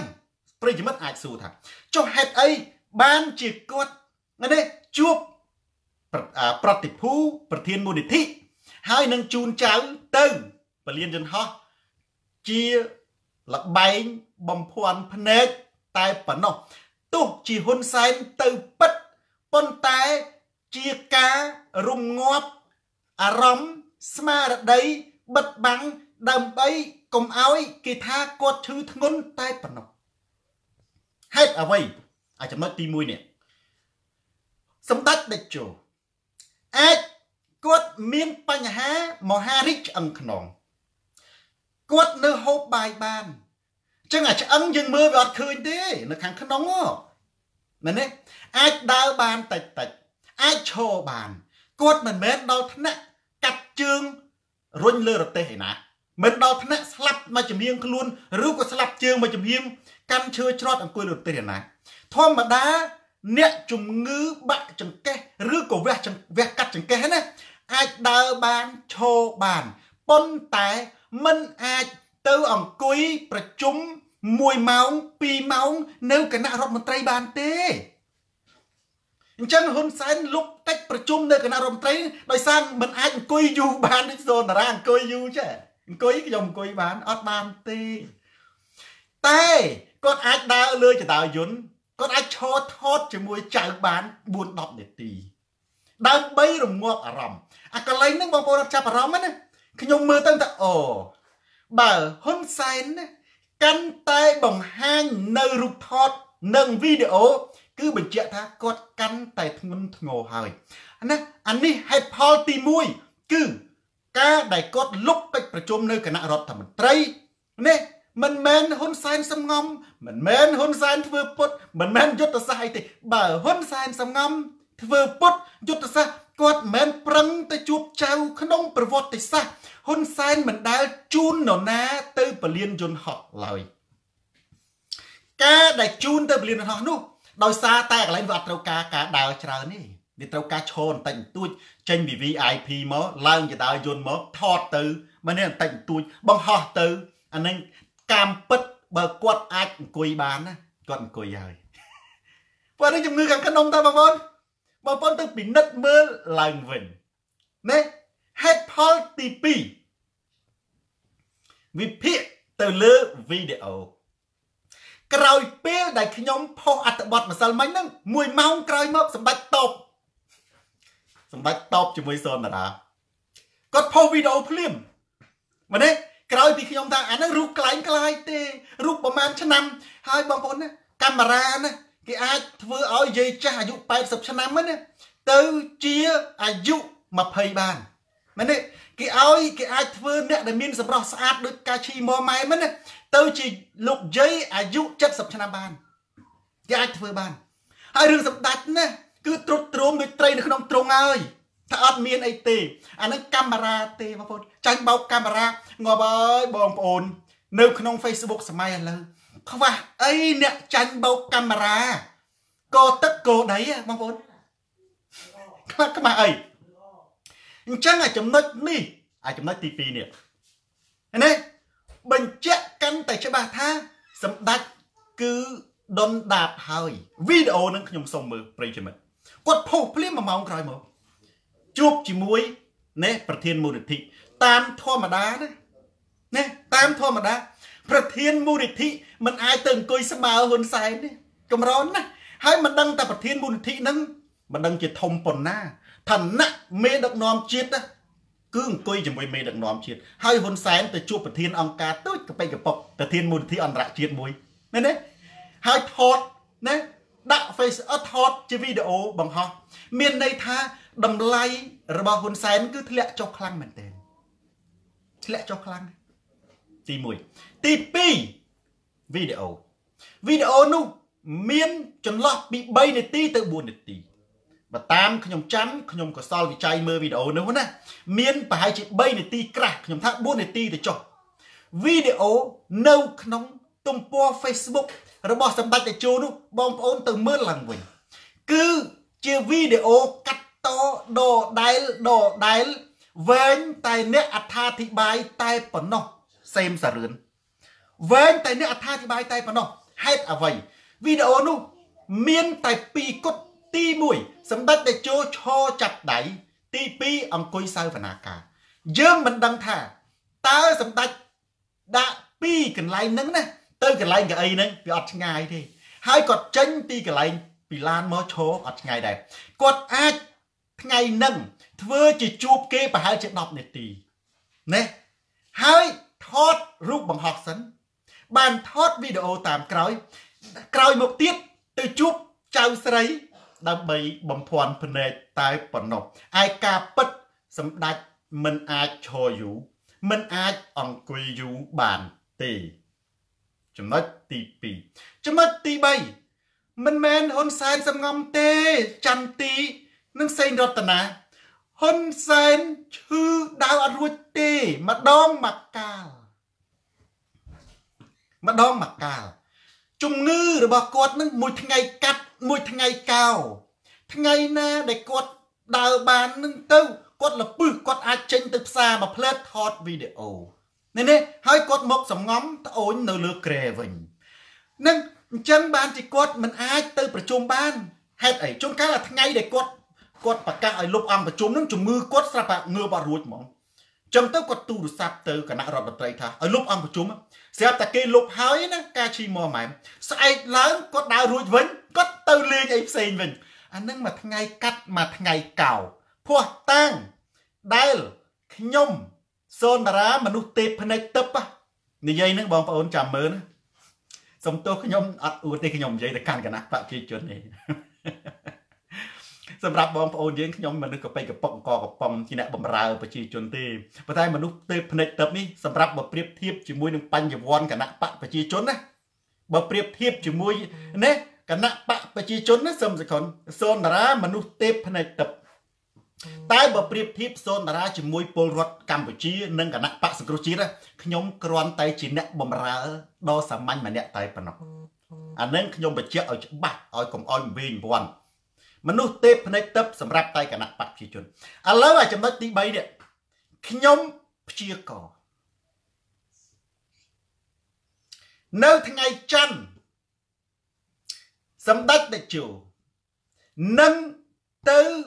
កន្លែងពហុកីឡាដ្ឋាន សំណេះសំណាលជាមួយនឹងកីឡាករតាមធម្មតាហេតុអ្វី បាទប្រិយមិត្តអាចសួរថាអេលោកគ្រូគេងថាសម្ដេចត្រុតត្រំទៅលេងរួច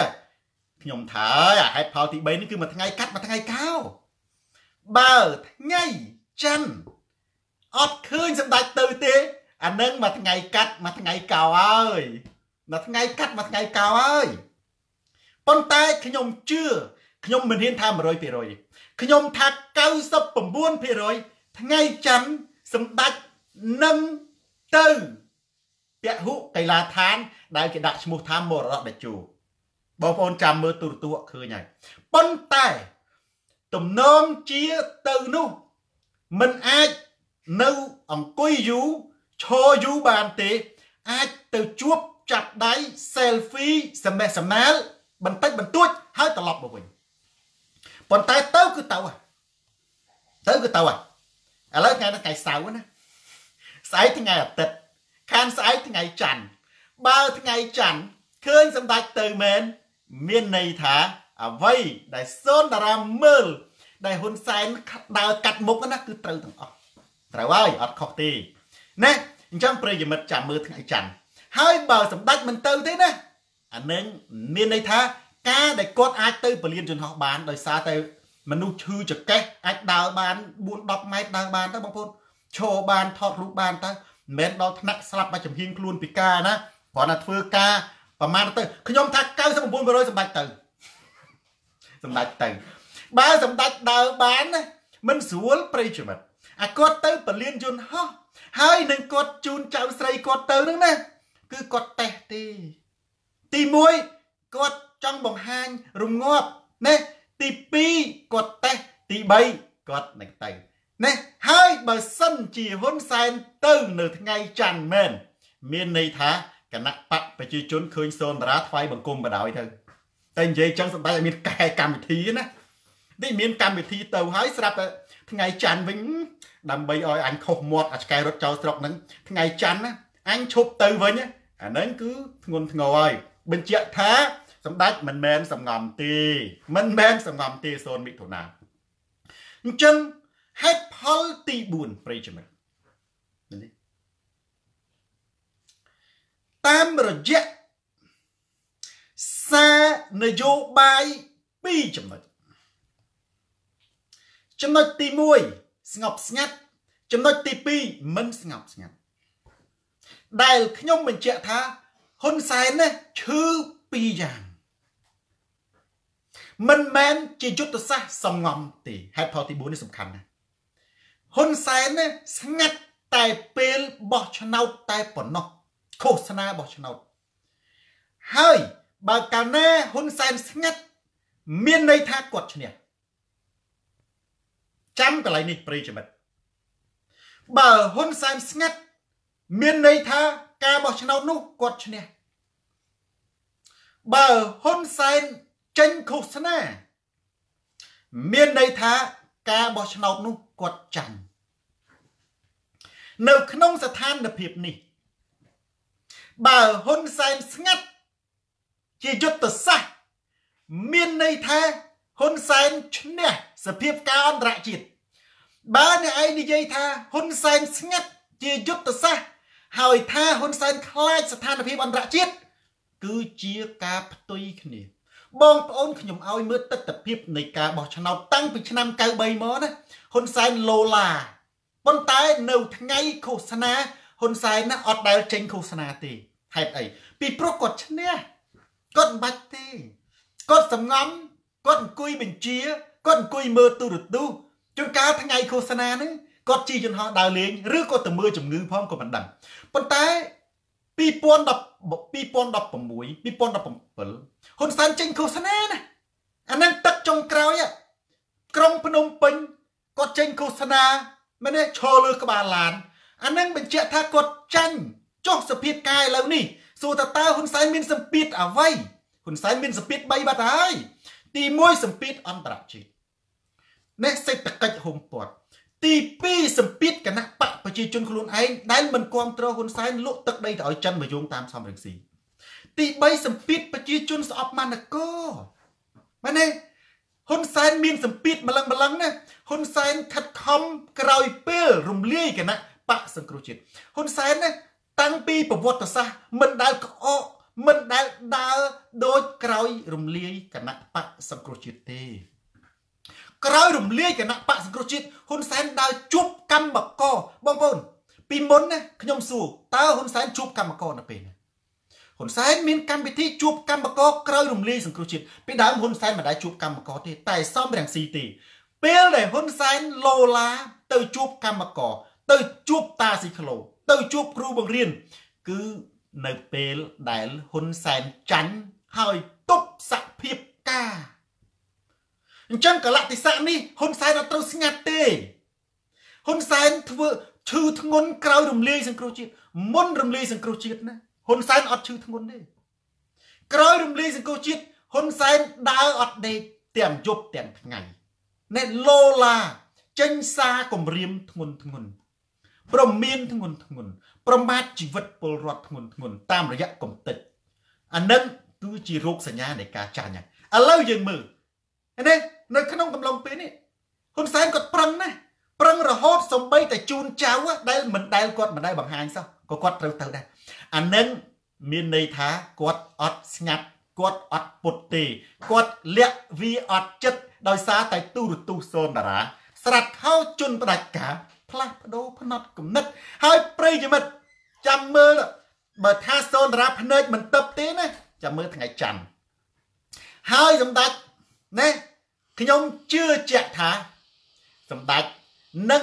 មិនថ្លែងសន្តរកថាយូរទេ បើសម្ដេចហ៊ានលំបឹស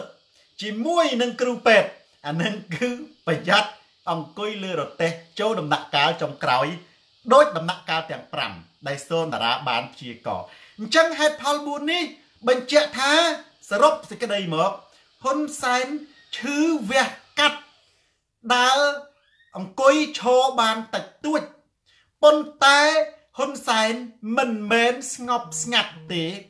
ហ៊ុនសែនកលតិសៈនេះត្រូវចេញដើម្បីបង្ក្រាបស្មារតីប្រជាជន បង្ក្រាបស្មារតីពួកប្រឆាំងនិងបង្ក្រាបស្មារតីគណៈបកប្រជាជនកម្ពុជាកុំឲ្យជ្រួលច្បល់នេះនេះក៏អត់ត្រូវការស្ងាត់ទេហេតុដូច្នេះថ្ងៃច័ន្ទថ្ងៃនេះថ្ងៃទីថ្ងៃសៅរ៍ចាំមើលបើមិនសម្ដេចទៅទៅនេះទៅកន្លែង start ហ្នឹងហើយបងប្អូនណា សម្ដេចអត់មានកែកម្មវិធីរិសាសូនតារាទេណាតិចឮថាចំឈ្នះសូនតារាម្នាក់សុកចិត្តចាយលុយអស់មកកគុករៀបចំតែបើថាខ្ញុំលុបក៏លុបមិនទាន់ដែរមែនទេព្រោះថ្ងៃហ្នឹងថ្ងៃសៅរ៍ហ្នឹងបើចង់លុបកម្មវិធីចេញវិញវាតតែសម្ដេចនឹងដើរលេងរួចមកថ្ងៃច័ន្ទណាបើឧទាហរណ៍ថាសម្ដេចមានកម្មវិធីទៅនឹងមែនណាហើយសូនតារាមើលពីដំណើរជីវិតហ៊ុនសែនខុសណាអានឹងគេត្រូវប្រកាសនៅថ្ងៃស្អែក អំពីគម្រោងលុបចោលតាមធម្មតាតែប៉ុណ្ណឹងឯងអញ្ចឹងប្រិយមិត្តនេះណាដែលខ្ញុំថាដំណាក់កាលនេះហ៊ុនសែនណាមានតែលេងក្បាច់អាណាខ្លាំងជូនអញទៅផ្ទះតែប៉ុណ្ណោះស្អីទៅក្បាច់អាណាខ្លាំងជូនអញទៅផ្ទះមានរឿងមួយ នៅក្នុងហាងផឹកស៊ីផ្ទះតុកហ្មងសួរអាណាខ្លាំង អាណាខ្លាំងចុះគាត់រៀងតំណងដែរបាទមៀតសាច់ដុំអាណាខ្លាំងម្នាក់ម្នាក់សងំចើមចឹងទៅខ្លាចស្រាប់តែមានម្នាក់គេងើបមកថាអញខ្លាំងហើយយ៉ាងម៉េចដល់នោះតំណងដើរមកគៀកហ្មងបាទសម្លឹងមុខដើរមកគៀកហ្មងស្ដាយចង់មានរឿងអីទេខ្ញុំគ្រាន់តែថាអញ្ចេបើបងឯងបងឯងខ្លាំងណាជួយជូនខ្ញុំទៅផ្ទះផងពីព្រោះខ្ញុំសង្វឹងខ្លាំងហើយចឹងហ៊ុនសែនគម្រាមនេះណាគឺសួររកអាណាខ្លាំងទេ ចុះបើយើងខ្លាំងជូនហ៊ុនសែនទៅផ្ទះហ៊ុនសែនគាត់សួររកអ្នកជូនទៅផ្ទះទេ បើបងប្អូនដឹងអញ្ចឹងហើយឃើញលិខិតក្រសួងមហាផ្ទៃចេញហ្នឹងផេះណាគឺជាលិខិតដែលយកទៅខ្ចប់ចែកជៀនទេយកទៅហ្វូតូចែកចែកជៀនទៅឬបើអ្នកនៅអាមេរិកនេះខ្ញុំជឿថាបងប្អូននៅបារាំងនេះមិនសូវឃើញអាលិខិតហ្នឹងបងប្អូន print មកបារាំងអាំព្រីមេហ្នឹងណា print យកមកហើយខ្ចប់ចែកជៀនថតបង្ហោះ Facebook ទៅណាផេះអត់មានទេកន្លែងណាដែលគណៈបកប្រជាជនបកកតុយចាក់អាកន្លែងហ្នឹងទៅព្រីមិត្តមុននឹងឈានចូលទៅដល់របៀបរយៈទី3សំណួរចម្លើយនិងបញ្ហាផ្សេងផ្សេងមែនទេបាទខ្ញុំប្រាប់ប្រិយមិត្តរឿងមួយមនុស្សឈឺណាគេបើយើងមិនឆ្លាតក៏ដោយ យើងមិនបាច់ទៅមានភ្នែកទឹកអីទេយើងមិនបាច់ជឿបច្ចៈបណ្ឌិតអីក៏បានដែរយើងជាមនុស្សសាមញ្ញក៏បានដែរគឺបងប្អូនចំណាំមើលទៅលើកត្តា3យ៉ាងគេអាចសម្គាល់ថាអ្នកនោះឈឺទ្រុឌទ្រោមបាន ហើយកតា3យ៉ាងនោះខ្ញុំឲ្យប្រិយមិត្តមើលទៅសម្ដេចអគ្គមហាសេនាបតីតេជោហ៊ុនសែនទី1 រូបរាងទឹកមុខបងប្អូនក្មេងក៏ដោយចាស់ក៏ដោយក្មេងបើឃើញឪពុកខឹងតាមរយៈអីតាមរយៈទឹកមុខតាឃើញម្ដាយខឹងតាមរយៈទឹកមុខឃើញម្ដាយពិបាកចិត្តក៏តាមរយៈទឹកមុខពួកម៉ាក់ក៏ដោយទឹកមុខមនុស្សបង្ហាញអំពីសុខភាពផ្លូវចិត្តនិងសុខភាពផ្លូវកាយ ដែលខ្ញុំថាហ៊ុនសែនឈឺពីរហ៊ុនសែនឈឺពីរ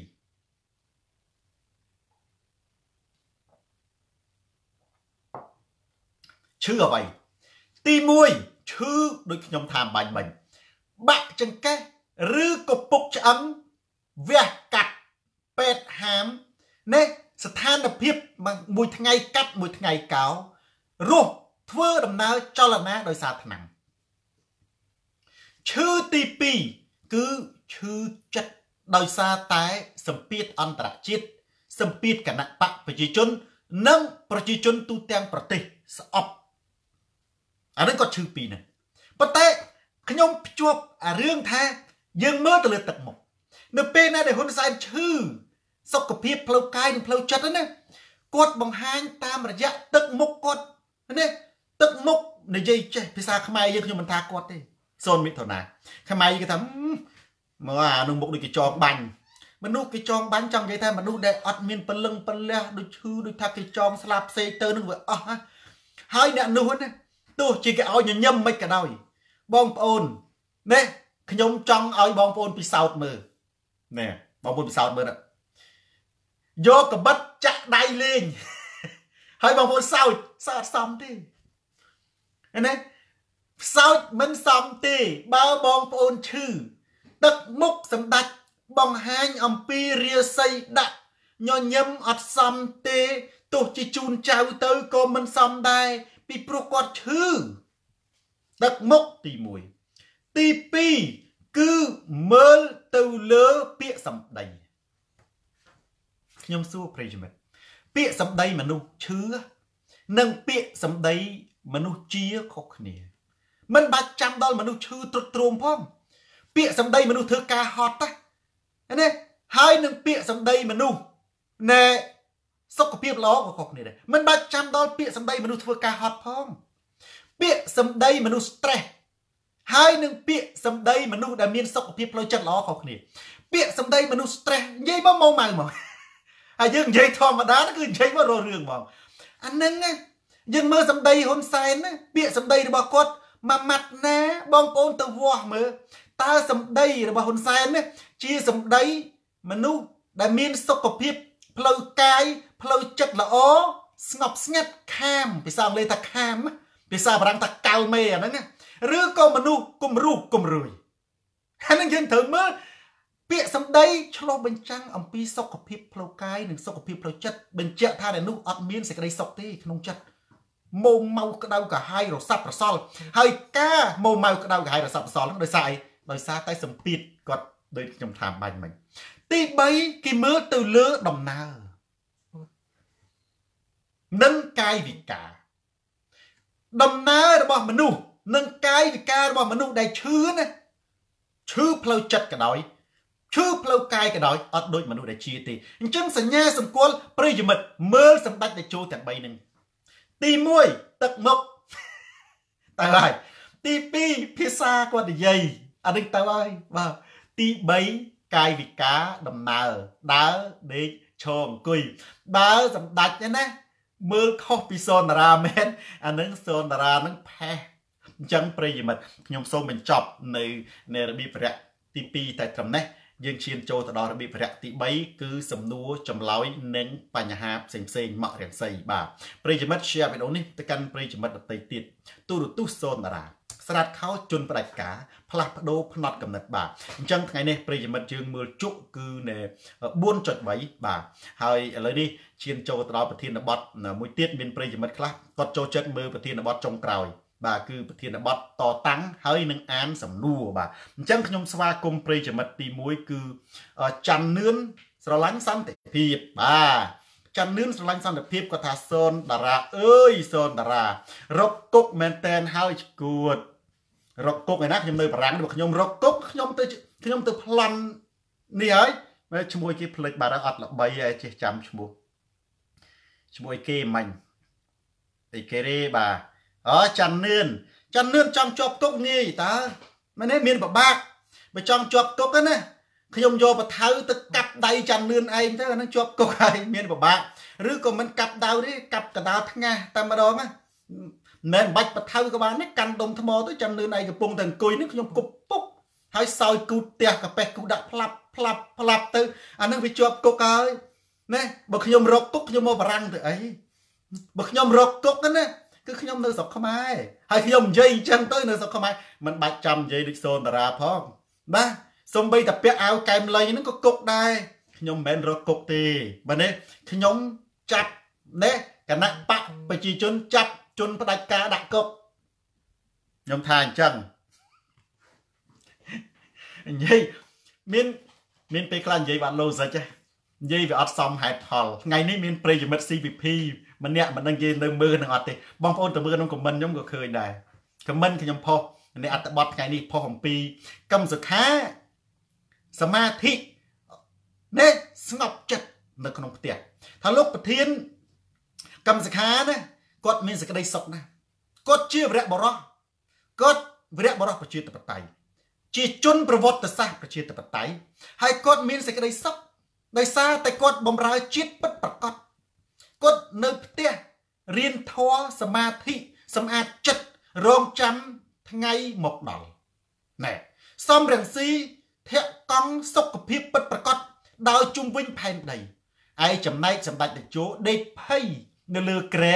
ដើរជុំវិញក្រែបង្ហោះរូបស្អាតស្អាតនៅលើ Facebook បំភាន់ភ្នែកមហាជនខ្ញុំនិយាយអញ្ចឹងមានបងប្អូន CPP នៅនេះ មានប្រិយមិត្តគណៈបកសង្គ្រោះជាតិថាជាយកកម្មសិក្ខាសមនឹងស៊ីតែមួយដល់តែបងប្អូន CPP ក៏ថាអញ្ចេះអានោះខ្ញុំនិយាយច្រើនដងហើយបាទខ្ជិលបកស្រាយខ្ញុំថាអញ្ចឹងតែហ្មងទៅគេថាបើមនុស្សតែមួយមែនអាម៉េចអាមួយនៅជាប់គុកអាម៉េចអាមួយនៅរត់ចោលស្រុកហ្នឹងហើយអានឹងគឺមនុស្សឈួតទេបាទមនុស្សតែមួយឯណាវាដែលតតែចងជាប់គ្នាបានហៅមនុស្សតែមួយនោះបាទហើយរត់ចោលស្រុកក៏ម៉េច ឥឡូវយើងឃើញទេហ៊ុនសែនភ័យខ្លាចសំស៊ីចូលស្រុកសឹងអីណែបើហ៊ុនសែនចង់ចាប់សំស៊ីមែនបើសំស៊ីខុសមែនណាអាម៉េចក៏មិនឲ្យបលីអន្តរជាតិចាប់ទៅហើយមិនក៏មិនស្ងាត់ស្ងាត់ហៅសំស៊ីចូលប្រឆោតទៅចាប់ទៅចាំបាច់ប្រកាសធ្វើអីអានឹងមួយបាទមួយទៀតខ្ញុំតបថាចេះប្រិយមិត្តអានឹងខ្ញុំសុំទោសមែនទេដោយសារតែខ្ញុំតបជាមួយបងប្អូន CPP ទេគេថាវាមិនដែលមនុស្សតែមួយណាអាម្នាក់នៅក្នុងគុកម្នាក់នៅក្រៅស្រុក ខ្ញុំថាក្រែងសម្ដេចតេជោហ្នឹងគឺគាត់រួមសុខរួមទុកជាមួយប្រជាជនណាទីណាមានសម្ដេចទីណាមានទុកលំបាកទីនោះមានសម្ដេចតេជោហើយចុះអឺមិនក៏សម្ដេចទៅពេទ្យសិង្ហបុរីហើយប្រជាជនដេកតាមចាមផ្លូវហើយប្រជាជនហ្នឹងផឹកថ្នាំឬឈើអាម៉េចមិនទីកេញរួមសុខរួមទុកជាមួយគ្នា ហើយថាក្រែងថាហ៊ុនសែននិងប្រជាពលរដ្ឋជាមនុស្សតែមួយបើប្រជាពលរដ្ឋជាមនុស្សតែមួយអាម៉េចក៏សម្ដេចទៅដេកពេទ្យសិង្ហបុរីឯប្រជាជនដេកនៅផឹកថ្នាំឬឈើដល់តែពេលអញ្ចឹងទៅ គឺបាក់ស្បាតអត់ឃើញអាហ្នឹងនៅក្នុងសារបាទនៅក្នុងសារមានអ្នកខ្លះគាត់នៅខមមិនអញ្ចឹងទៅខ្ញុំអត់តបអត់តបដាក់ផ្ញើសារមកដល់ផ្ញើសារមកខ្ញុំថាអញ្ចឹងទៅឥឡូវក្រែងតែឯងថាសម្ដេចតេជោហ្នឹងគឺជាមនុស្សតែមួយជាមួយប្រជាជន ណាវាមិនដែលមនុស្សតែមួយណាម្នាក់ដេកពេទ្យសង្កពួយម្នាក់ទៀតបតោកសរោមនៅក្រោមនៅក្រោលគោវាត្រូវឲ្យប្រជាជនអស់ទៅដេកពេទ្យជាមួយសម្ដេចដែរនៅសង្កពួរអានឹងបានវាត្រូវបាទអញ្ចឹងមិនថាសូនតារានិយាយរកគុកហ្នឹងសូនតារាមាននិយាយរកគុកទេ គឺសូនតារាប្រយុទ្ធដើម្បីរំដោះអ្នកទោសមនសិការនយោបាយចេញពីគុកសូនតារ៉េនិយាយដើម្បីរំដោះកម្ពុជា ចេញពីគុកជនផ្ដាច់ការអត់មានរកគុកទេណា បើរកគុកងាយបំផុតចូលប្រទេសកម្ពុជាទៅដែលបងប្អូនថាបើឯងខ្លាំងចូលមកហេខ្ញុំខ្លាំងហើយណាបានខ្ញុំនៅទីនេះបានបើខ្ញុំខ្សោយស្មានតែខ្ញុំនៅទីនេះបានណាណាចង់ខ្លាំងណាមិនបាច់ចាំទៅស្រុកខ្មែរមិនបាច់ចាំខ្លាំងទេស្លាប់មកជំនាញខ្លួនក៏ទៅបានដែរណាប៉ុន្តែចង់មកចាប់សូនតារានៅស្រុកបារាំងអានឹងបានគេហៅថាអ្នកខ្លាំងបាទហើយខ្ញុំជឿថា នៅស្អែកនេះណាអត់ថ្ងៃច័ន្ទនេះណាប្រិយមិត្តមើលការព្យាកររបស់សូនតារាទៅតើសូនតារាថា99%ហ៊ុនសែននឹងចុះទៅនេះជួបសម្ដេចសម្ដាលនៅឯកៃឡាឋាន ដើម្បីរងាប់ភ្នែកមហាជន បាទសក្រវៈឯមផាន់តារាជំរាបសួរលោកគ្រូបាទអមអូនយូអានកូនចៅរៀនបរទេសបើចេតថា កញ្ញហ៊ុនសែននឹងប្រជាពលរដ្ឋគឺតែមួយមួយណា កូនខ្មែរណោះរៀនសាលាក្មេងៗដែលអត់ការងារធ្វើទៅជួយធ្វើការម្ដាយខ្លះមែនទេក្រីក្រអត់មានការគ្រប់គ្រងច្បាស់លាស់រត់ទៅប្រើថ្នាំញៀនជក់ថ្នាំញៀនក្មេងៗហាត់កាវឯកូនចៅសម្ដេចសម្ដេចទៅជូនមករៀនអាមេរិកនឹងប្រទេសប្រទេសណាតម្លាក់ក្របបែកនឹង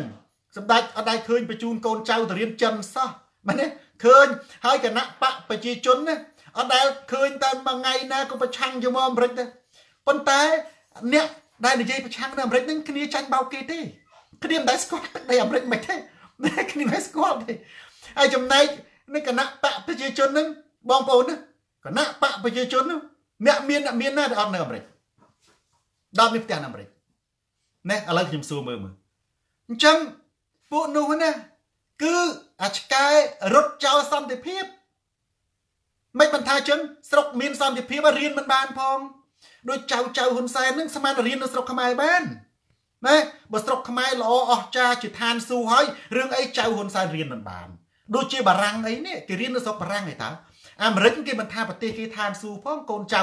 ប្រធានាធិបតីរៀននៅអាមេរិកតាសិង្ហបុរីគេមិនថាប្រទេសគេសាំងនេះផង កូនចៅគេរៀននៅសិង្ហបុរីតើឯចំណែកហ៊ុនសែននេះប្រទេសខ្មែរជាឋានសួគ៌តែចៅចៅមករៀននៅអាមេរិកទៀតចៅចៅមករៀននៅអឺរ៉ុបឯបោកប្រិយមិត្តផេះមួយទៀតខ្ញុំនិយាយបន្តិចផេះវិសមកាលវ៉ាកងនៅអឺរ៉ុបនិងនៅបារាំងណាគឺពីខែចន្លោះពីខែ7ទៅខែ9 បើនៅអាមេរិកគឺចន្លោះពីខែ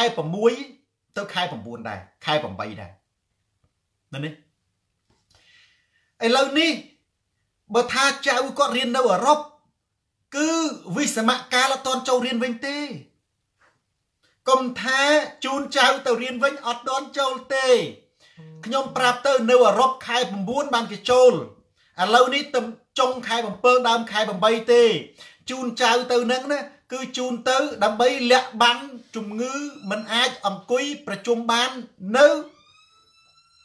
ទីស្តីការគណៈរដ្ឋមន្ត្រីតែប៉ុណ្ណោះនៅអាមេរិកគេវាកងតខែ9បងប្អូនបានគេចូលវិញណា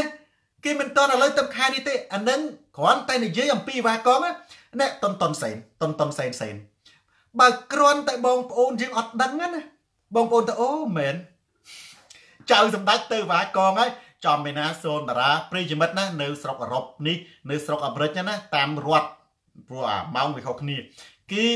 តើតែខែ9បានចូលរៀនវិញសម្ដេចថាជូនចៅទៅរៀននឹងខុស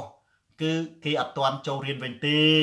បាទហើយវាកងនៅនេះទាំងរដ្ឋទាំងឯកជន គឺស្របគ្នា គឺចំពេលតែមួយដោយសារអីដោយសារខែមិនឯកជននឹងខែមិនខែត្រជាក់សម្រាប់សាលាឯកជន ខែក្តៅសម្រាប់សាលានេះណាអាកាសធាតុវាទៅតែមួយហ្នឹងវាមិនថាអូឥឡូវនេះខែក្តៅអាកាសធាតុនៅសាលាឯកជនហ្នឹងគឺ summer រដូវក្តៅ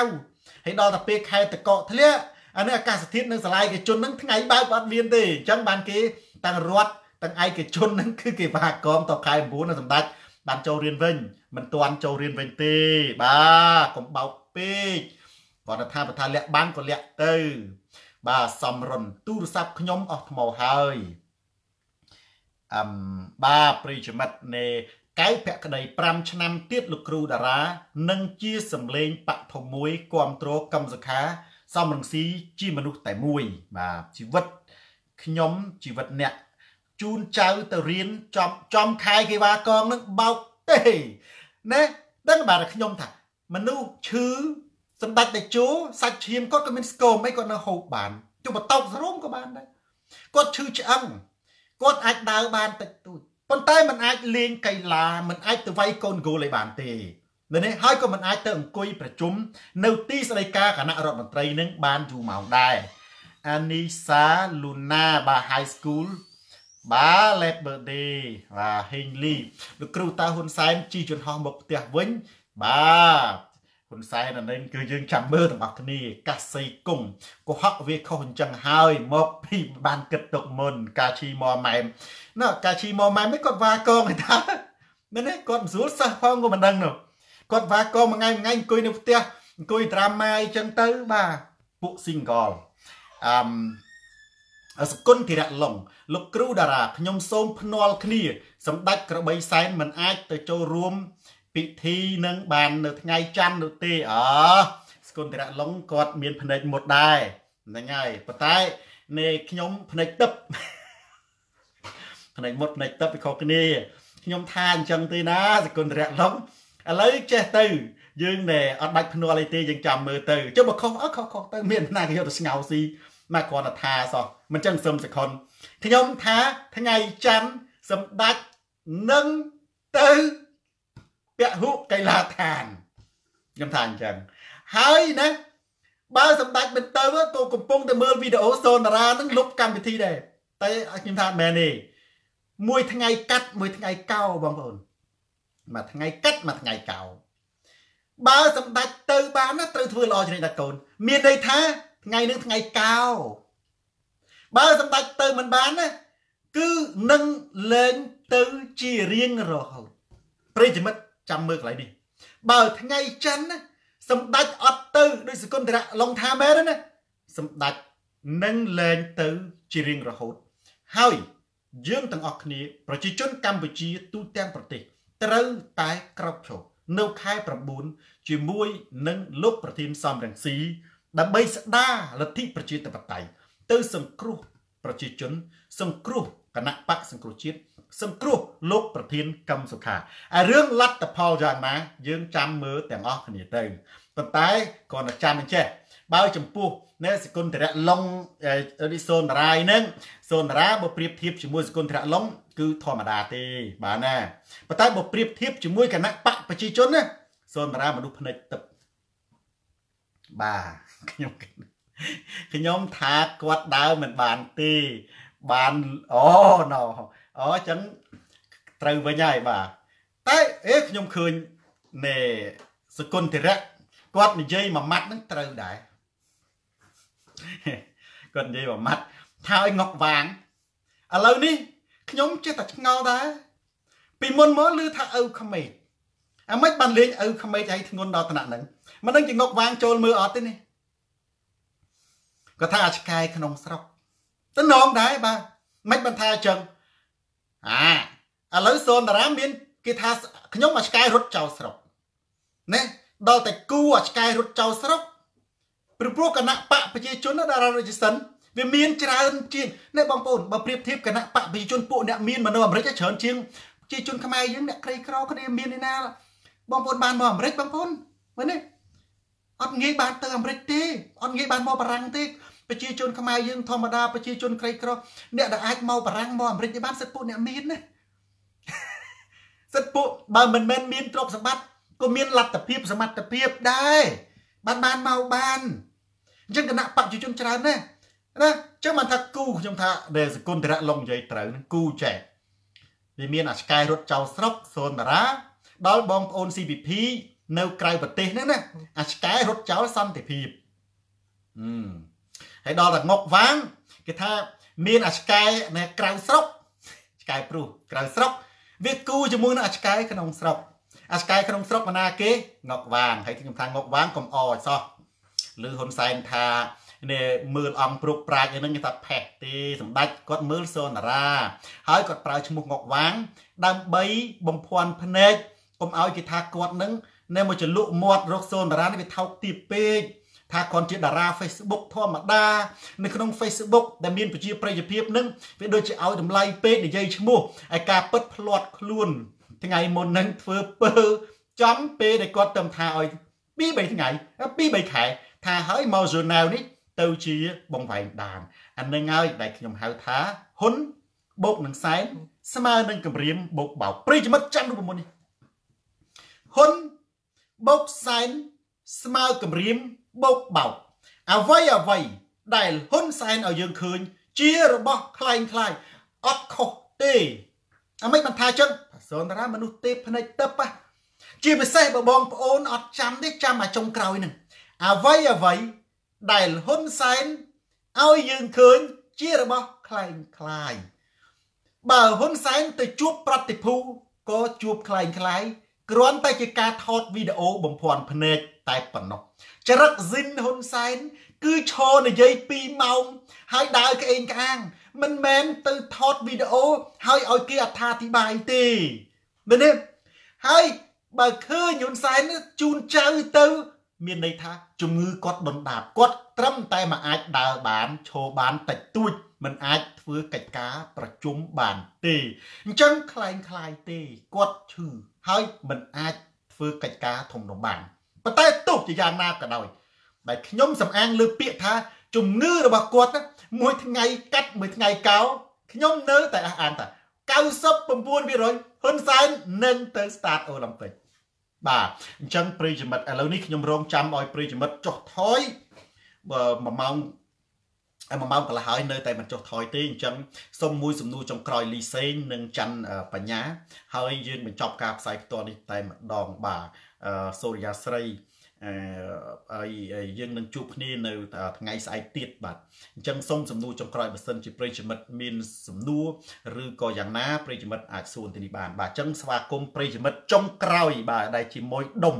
គឺសឹមសុខុនស្រឡាញ់សន្តិភាពបាទសឹមសុខុននឹងជាអ្នកគ្រប់គ្រងសូនតារាផ្កាប់មុខមកពីគណៈបកប្រជាជនកម្ពុជាគាត់ថាបើសូនតារាភ្នែកទឹកអញ្ចឹង សូនតារាត្រូវទទួលស្គាល់ការពិតរលាយអតីតបកប្រឆាំងសង្គ្រោះជាតិហើយហ៎ចុះខ្ញុំមានថាអត់ទទួលស្គាល់ឯណាអត់បានស្ដាប់តាំងពីដើមទីមកសឹមសខុននេះខ្ញុំកំពុងតែឆ្លើយជាមួយអនន្តយ៉ាតមិញអនន្តយ៉ាតក៏ថាអញ្ចឹងសុកវិសានក៏ថាអញ្ចឹងនឹងក្បត់នឹងបញ្ជាមេបកធំហ្នឹងអត់ដឹងសុកវិសានថាមិនទេសុកវិសានថាសម្ដេចតេជោនឹងកាន់អំណាចរហូតទាល់តែពួកអាប្រឆាំង នៃងាប់អស់អត់ស្គាល់ពាក្យខ្មែរមានន័យថាម៉េចពួកប្រឆាំងវាងាប់វាអត់អស់ពួកប្រឆាំងវាងាប់អត់អស់បើសិនជាពួកប្រឆាំងងាប់អស់ហើយងាប់ស្អីគេរលាយរលាយវាមិនងាប់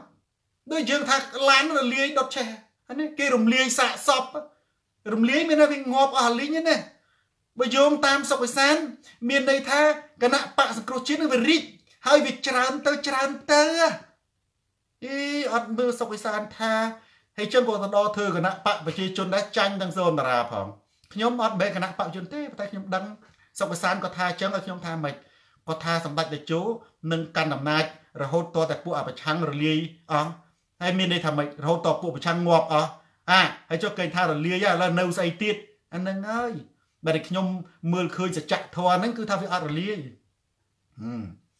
យមួយទៀតទីប្រឹក្សាហ៊ុនសែននេះគាត់សរសេរតែងសេចក្តីនៅលើអត្ថបទខ្ញុំណាសឹមសកុនតែបងប្អូនទៅមើលទៅអត្ថបទខ្ញុំផុសរូបមុខគណៈបកសង្គ្រោះជាតិឈរចាំឡានគាត់តែងកំណាប់ច្រើនណាស់មនុស្សចាស់វិញវត្តស័យមិនក៏ដោយមានអត្តន័យតែបន្តិចទេគឺ